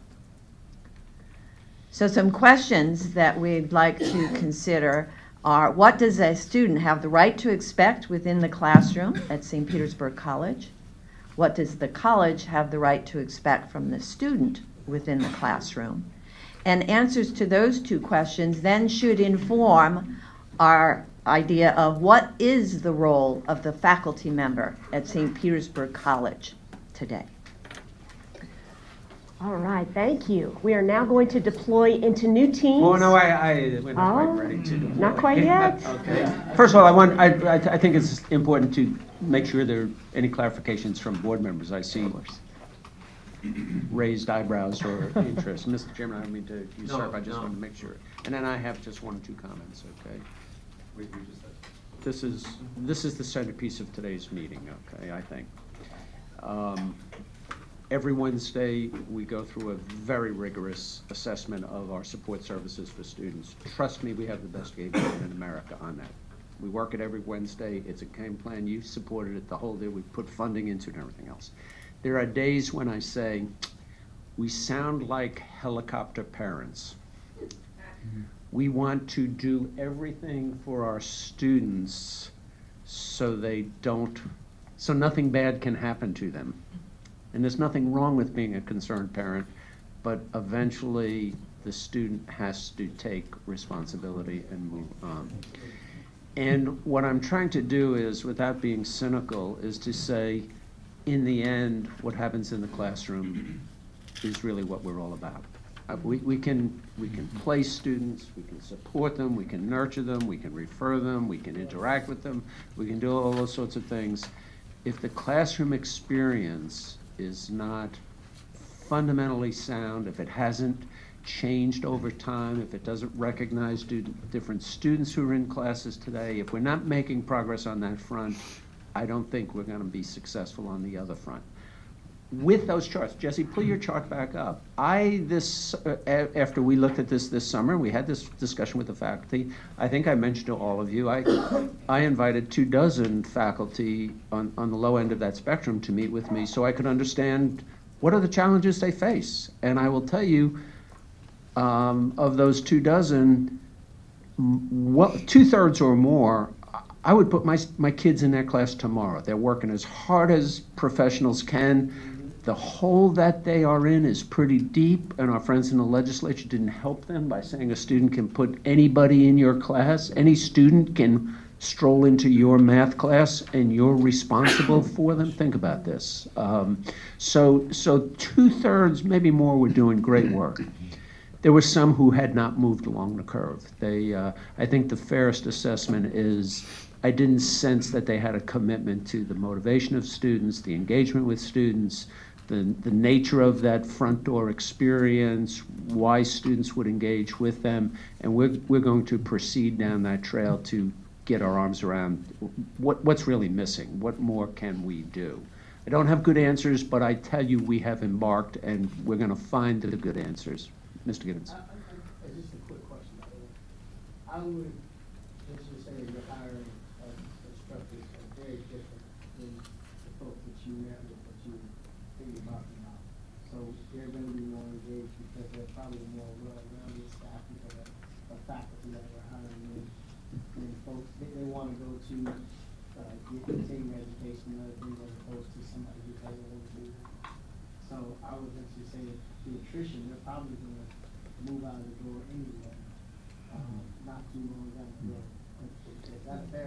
I think so. I'm not sure I have enough patience to wait for the attrition. I- I don't know that that's the answer I want to give you when you ask what's happening, okay? But no, I think there are some things we ought to do we- we- and, and put it up there. I think we have to open a dialogue about what our expectations are. You you know, how does this work? What, what's, what's other support do you want? We now have delivered ourselves where if a faculty member says, I think there's some things, some help that I need to address the in-class learning.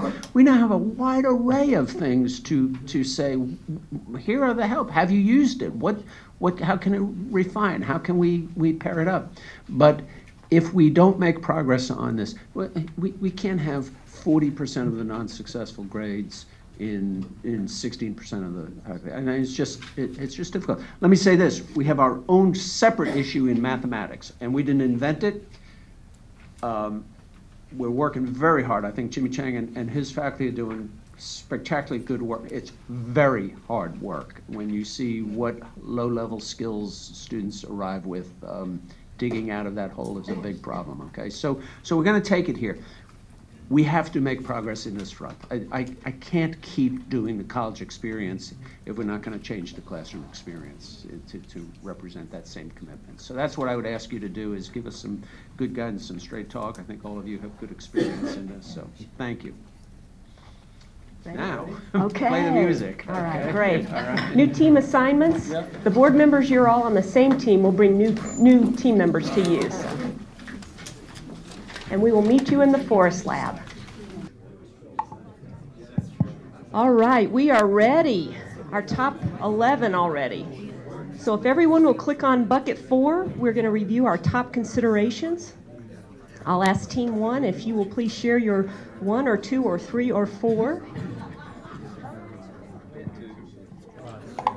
All right, well, we thought there were two very important uh, factors. First of all, that the faculty member should guide the delivery of the major learning outcomes within the course by creating a learning community within that classroom that encourages all, operative word here, all students' success. And of course, the only way in which faculty are going to be able to continue to do that is if they engage in their own professional development to stay current and adjust their pedagogical approaches. And it's important to always make sure that those are culturally relevant. to highlight? Those are our top ones. Great, Team One, thank you. We're now at top 17, you guys. Overachievers. Team Two, please pick one or two or three that you can highlight for us.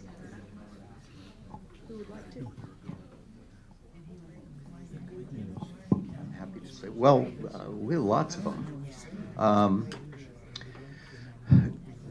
clear expectations. Uh, it's pretty simple. Standard syllabus integrated with calendaring functionality. I mean, let's, I won't use all the appropriate academic terms, but I think that's a simple, a good one. Um, meaningful and timely feedback, fewer high stakes assessments, and more opportunities to be successful. Those were the ones, and then a lot of the others were similar to the other. Those probably two. Very good, thank you, Team Two. Team Three, can someone highlight one or two? Only one or two? I think we have four. I don't know, that overachieving thing just keeps coming up.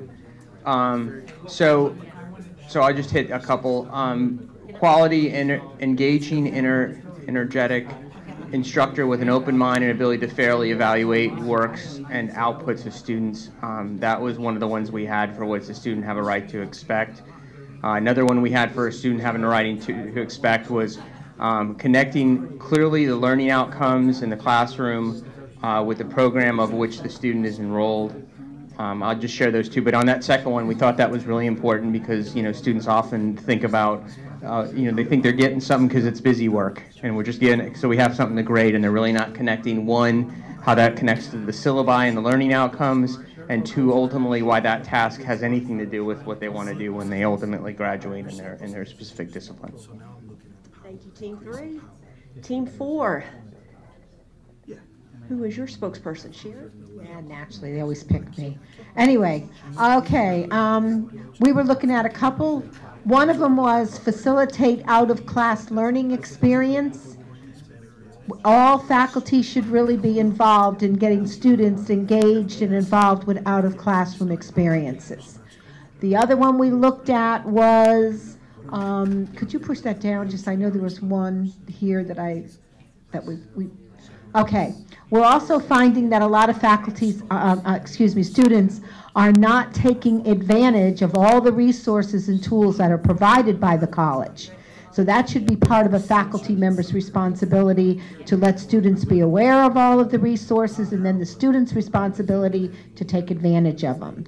And the last one was, we had a nice uh, statement made, guide on the side, not just a sage on the stage.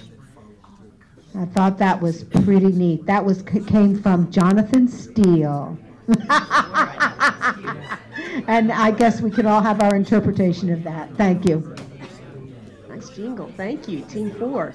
Any other top considerations we want to capture before we move to our fourth topic? Great work. learning beyond the classroom. So we'll meet you back in the Tropics Lab. Get those Fitbits on so you can capture these steps. We'll meet you there.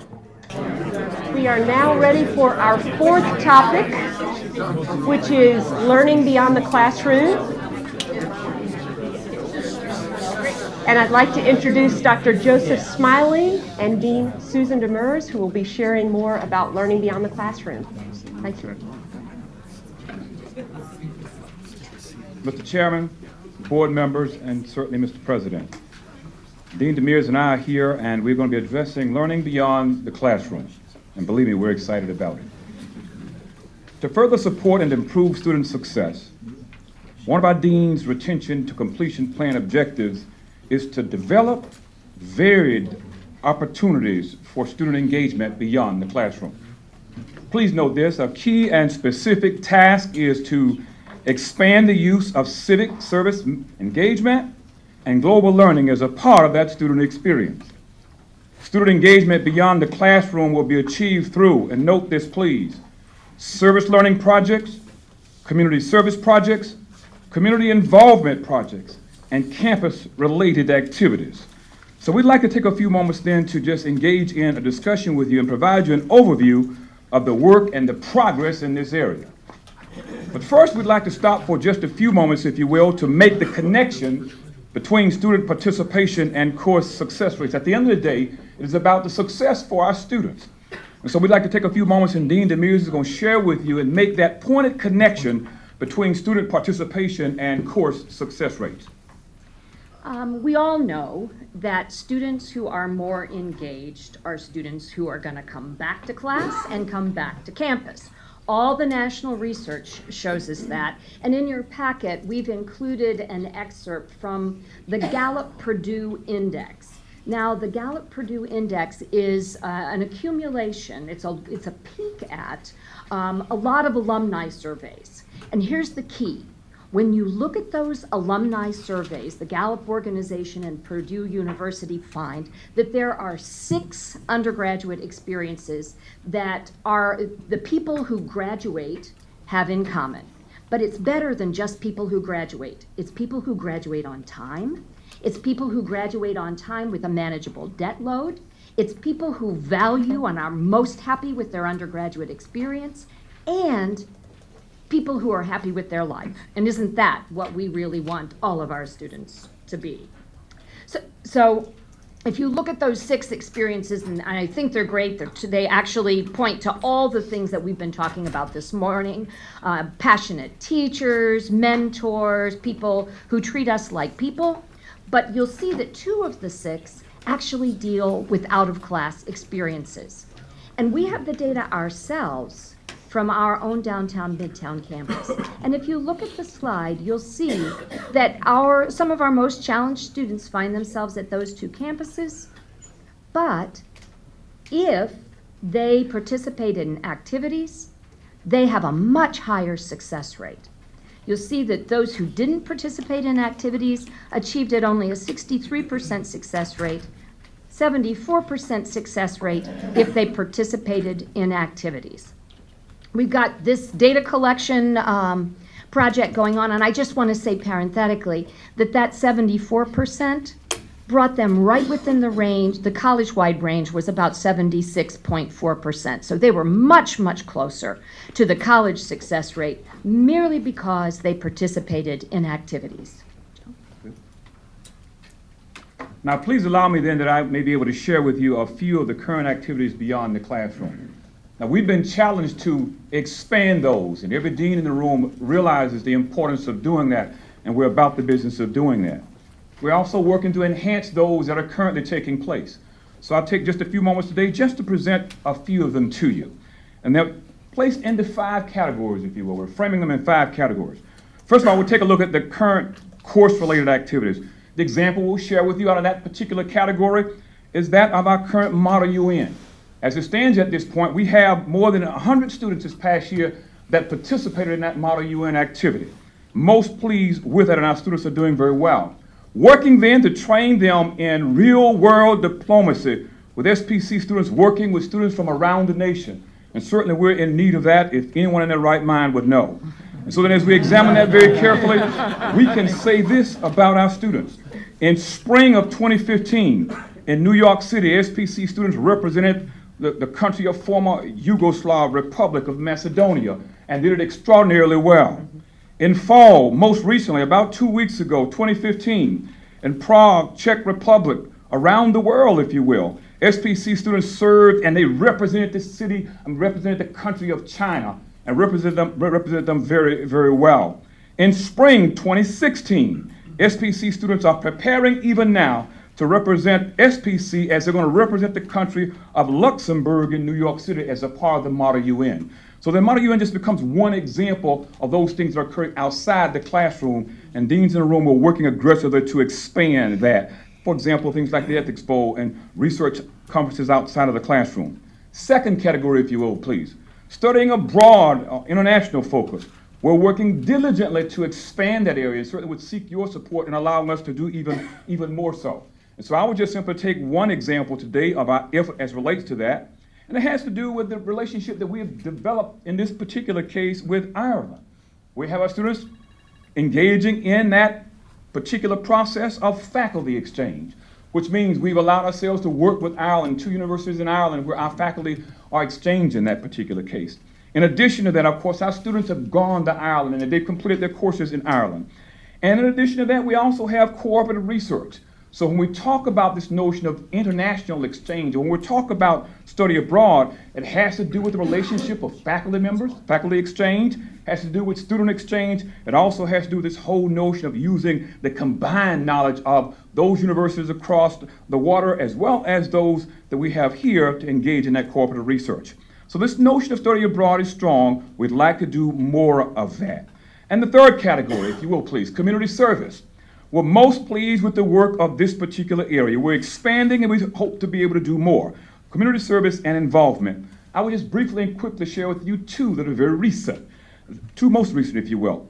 Food Assistance Project with Downtown. Our downtown Midtown campus, very proud of them. Over the last two or three weeks or so, committing, if you will, community service with the free clinic down there. We found in this case, I think roughly 50 of our students were actively involved on Fridays in providing support for the free clinic, and I fundamentally believe they're impacted in a positive way as a result of that particular experience, and we're encouraging more community service in that regard. In addition to that, second example I'll share with you uh, as it relates to downtown. We find that over 30 of our students were involved in providing mentorship opportunities for those at uh, at uh, Melrose Elementary School in this particular case, Campbell Park, and other middle schools in the county. So our students are becoming more aggressively involved in community service, and we hope to be able to expand that. And of course, quickly, fellowship and leadership, uh, in this case, the next category, very, very pleased with our effort with Turbo Vote, as all of our students were actively involved in that process.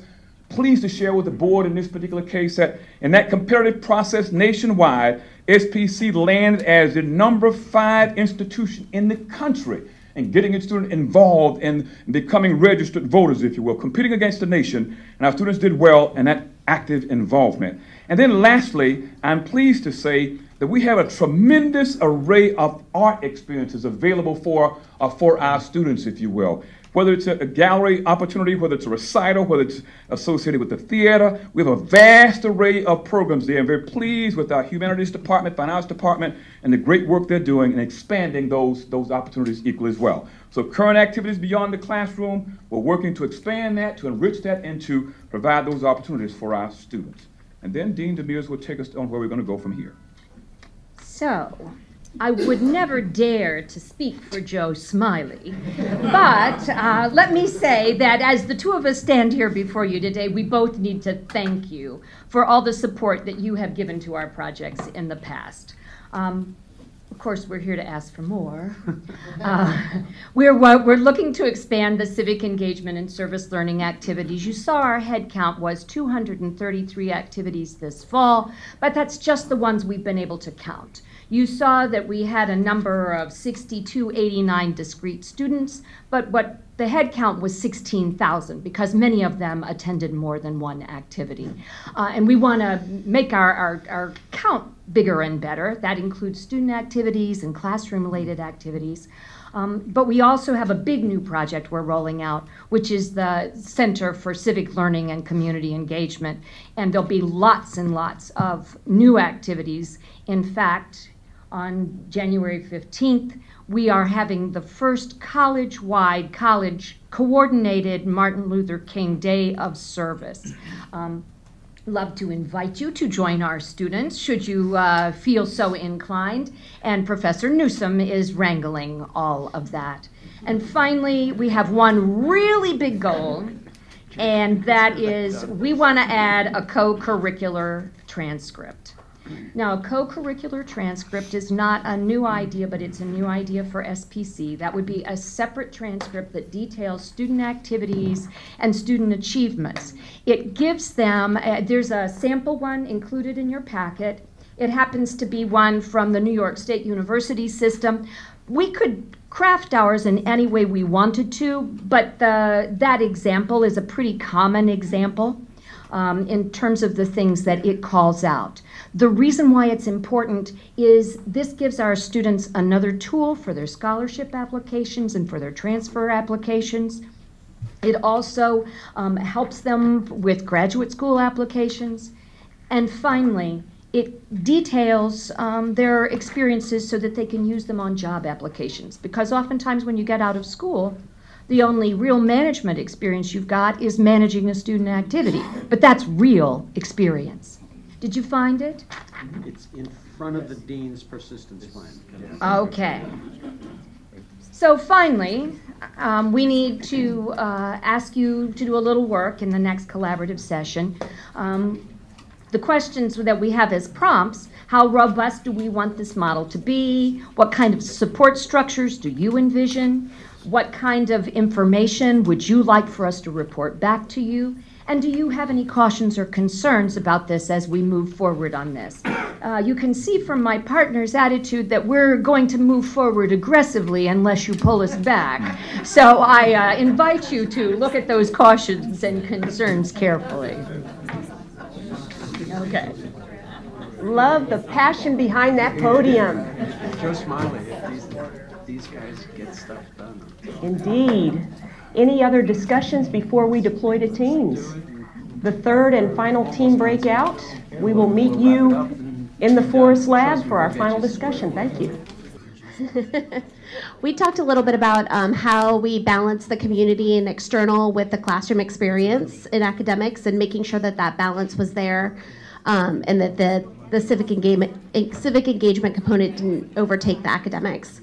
Uh, we also talked about uh, the possibility of a civic engagement fair on our campuses to let students know what's available um, on their individual campus, offering opportunities to volunteer. And um, the board really wants to know how this would help us move the needle forward to student success. So really connecting those two items. Thank you, Team One. Team Two? Do you see them doing this? Okay. Um, good morning. We and Team Two are very committed to this. Um, but we, we had some interesting um, ideas, and one of which is should have been at the top of our list all along, and that students contribute ideas for service, so that students are stakeholders in this process and how they would serve and how that service would lend to their education. Um, another piece that we wanted to make sure that we highlighted is that no matter how we go forward, we have to look at the impacts on the college, the costs involved, as well as performance funding, and how this can move performance-based funding indicators, as well as speak to the mission of the college. And I think, do we have any other pieces here? Um, Oh, okay, I'm sorry. Um, and we had, one of the important pieces that we thought is that we've done such a big investment in student services that we need to tie civic engagement to student services as well as academic programs so that we have contributed to all of the things that we've invested in in the college that they all work in, in concert together.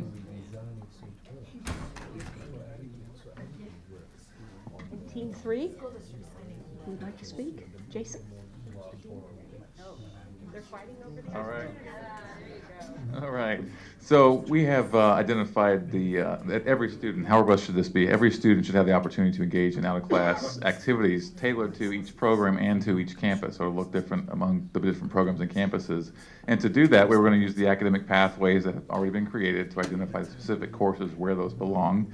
And Dr. Demers has offered up the ethics course for those students who are in the AA degree programs to embed the activities for out-of-class uh, support and civic engagement. Appreciate that. Team four, it's up to you. Brian, to bring it home. All right, we had a very nice discussion over on this team. We talked about a program uh, with a structure that supports not only student needs but also our immediate community needs. We wanted a program that would be a benchmark, uh, nationally recognized type of program that might also offer some a certificate or some type of credential for the students to, to have once they graduate. We talked about uh, robust enough marketing efforts to make the students available of all the opportunities that they have to take these, uh, to, to participate in this out-of-class experience. And then also we spoke about the financial support structures, the various sources of revenue, both internal and external, and how, what the uh, return on investment would be for these experiences to the community. And then finally, we considered liability for both uh, off-campus, international, some of the, the potential pitfalls that, that could be associated with these. And I just want to say that did not come from me, even though that I, I, I, it did not come from me. Thanks, Brian. Any other top considerations that we need to consider for learning beyond the classroom? Mr. Chairman, uh, I have a proposal. The- The last area is one that we can transport and do it in, in January. It's, it's sort of transportable. Can I suggest we just reassemble in the other room for two minutes? We will, we'll put a benediction on it and declare victory if, if you're okay. All right? Thank you. Thank you. We'll meet you in the Tropics Lab. Let's go ahead and roll the, the tape. This is what we showed at the morning graduation ceremony. We believe we have it teared up. Everybody, this is why you're here, and thank you for your service. Go ahead. Uh, Moving from Bulgaria to America was very stressful. I was extremely shy and um, I didn't know what I was going to do. I was always scared to talk with people. I didn't like to put myself out there. St. Petersburg College has really influenced me in like a positive way to be known, to want to succeed. It's like a whole new me basically. My major is in uh, Bachelor's of Science in Public Policy, and um, I chose this major after my first term in student government when I was the secretary of downtown campus. Being in student government definitely um, taught me how to interview, taught me um, what it's important being a government employee. Joining St. Petersburg College really gave me a purpose. My dream job is actually being an ambassador at um, an American embassy somewhere around the world. But I never actually thought that I can do it. I never thought that I could, but thanks to St. Pete College, uh, it's becoming a reality. I chose St. Pete College because it was affordable. It has been a challenge for me, but it's been one of the biggest blessings that God has given me because where we come from is not the norm to go to school and to graduate and be the best you could be. I was a little undecided, you know, about what I wanted to do. I joined the Model UN Club. Not only was I able to travel the world and do what I love best, but it gave me motivation. It gave me a reason to succeed. My overall dream is to have a seat on the Supreme Court. Before St. Petersburg College, I never thought I would have a chance to make a difference in this world. And because of this institution, I learned that I could do anything that I wanted to do. St. Petersburg College has been a life changing event for me, and so good. I brought my sisters on board and my mom, and now I'm no longer just the only one in college.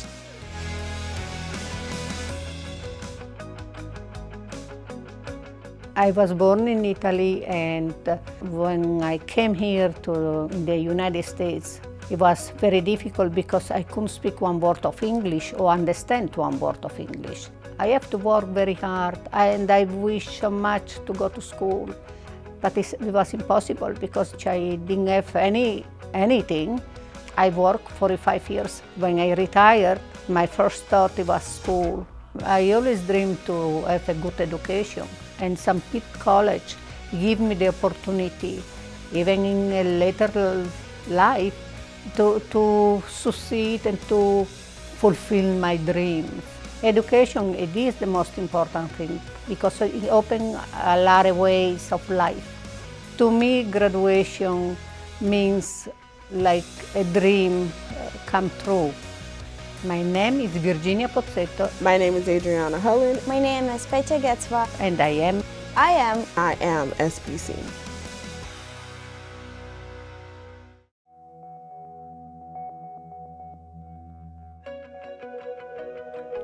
For me, dropping out of high school wasn't a conscious decision. I didn't think I was really school material. I kept trying to move up to full-time or a different position, and the reason I was never eligible was because of my education. After being out of school for 17 years, one of the reasons I chose St. Petersburg College was because the teachers in the adult education program were just amazingly motivating. Um, they were incredibly positive. They really gave me the confidence that sometimes I lacked in myself. I never honestly thought I would be here. I hope to be able to inspire or help other kids that may be struggling like I once was. What this experience has taught me is never give up on yourself or believe that you're not capable of doing what you set your mind to. The hurdles that you do come across in life, they're there to just prove how much you want to do something. My story isn't unique, and like a lot of people, I wasn't finding my way, and I dropped out of high school. But what is unique is that I'm here today and I'm graduating with honors, and that's thanks to St. Petersburg College. In 2004, I joined the United States Navy and performed two tours overseas, um, and I had a lot of fun, but I became a mom, and that needed to become the primary job that I had. So um, after eight years, I decided to get out and pursue my education. I chose St. Petersburg College because being a single mom with a child, as far as scheduling goes, it was very easy to work around um, my home and work life when I did have a full-time job. Graduation for me means that I'm finally restarting a new section of my life. I had a career previously with the military and now I'm starting my civilian career with a new job and new opportunities for myself and um, the opportunity to go wherever it is I want to go. When you stick to something and you work really hard, as I have, there is an ends to a means of everything and it's very satisfying to be able to walk across that stage. St. Petersburg College has helped me um, after my time in the United States Navy to be a great mom as well as pursue my degree so that I am able to find a career that I will truly love.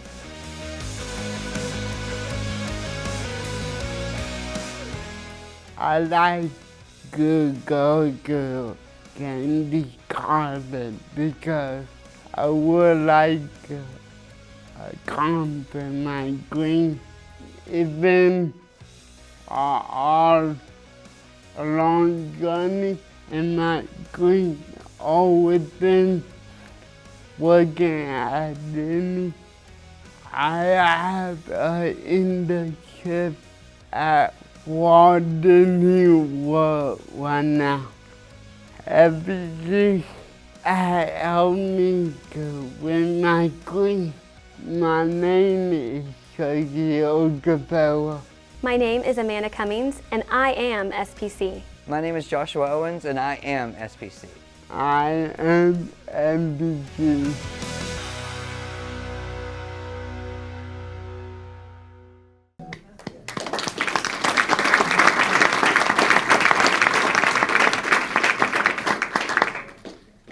Mr. Chairman, that concludes all of our preparation and presentations. You have, uh, we will, of course, follow up in, uh, with you and in time for our January meeting, uh, where we will say, where do we go from here? I hope it has been worth your effort this morning. You said a benediction, so I thought you were bringing Joe Smiley.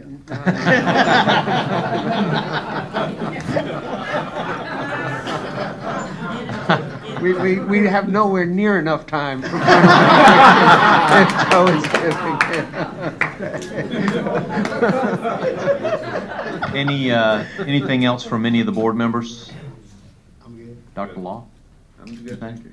All right, another uh, great session uh, to really kind of get us prepared for 2016. Our next board meeting, Tuesday, January the 19th, uh, here at the Epicenter. Uh, Wish everyone happy holidays and uh, Merry Christmas. And with that, the meeting is adjourned. Thank you.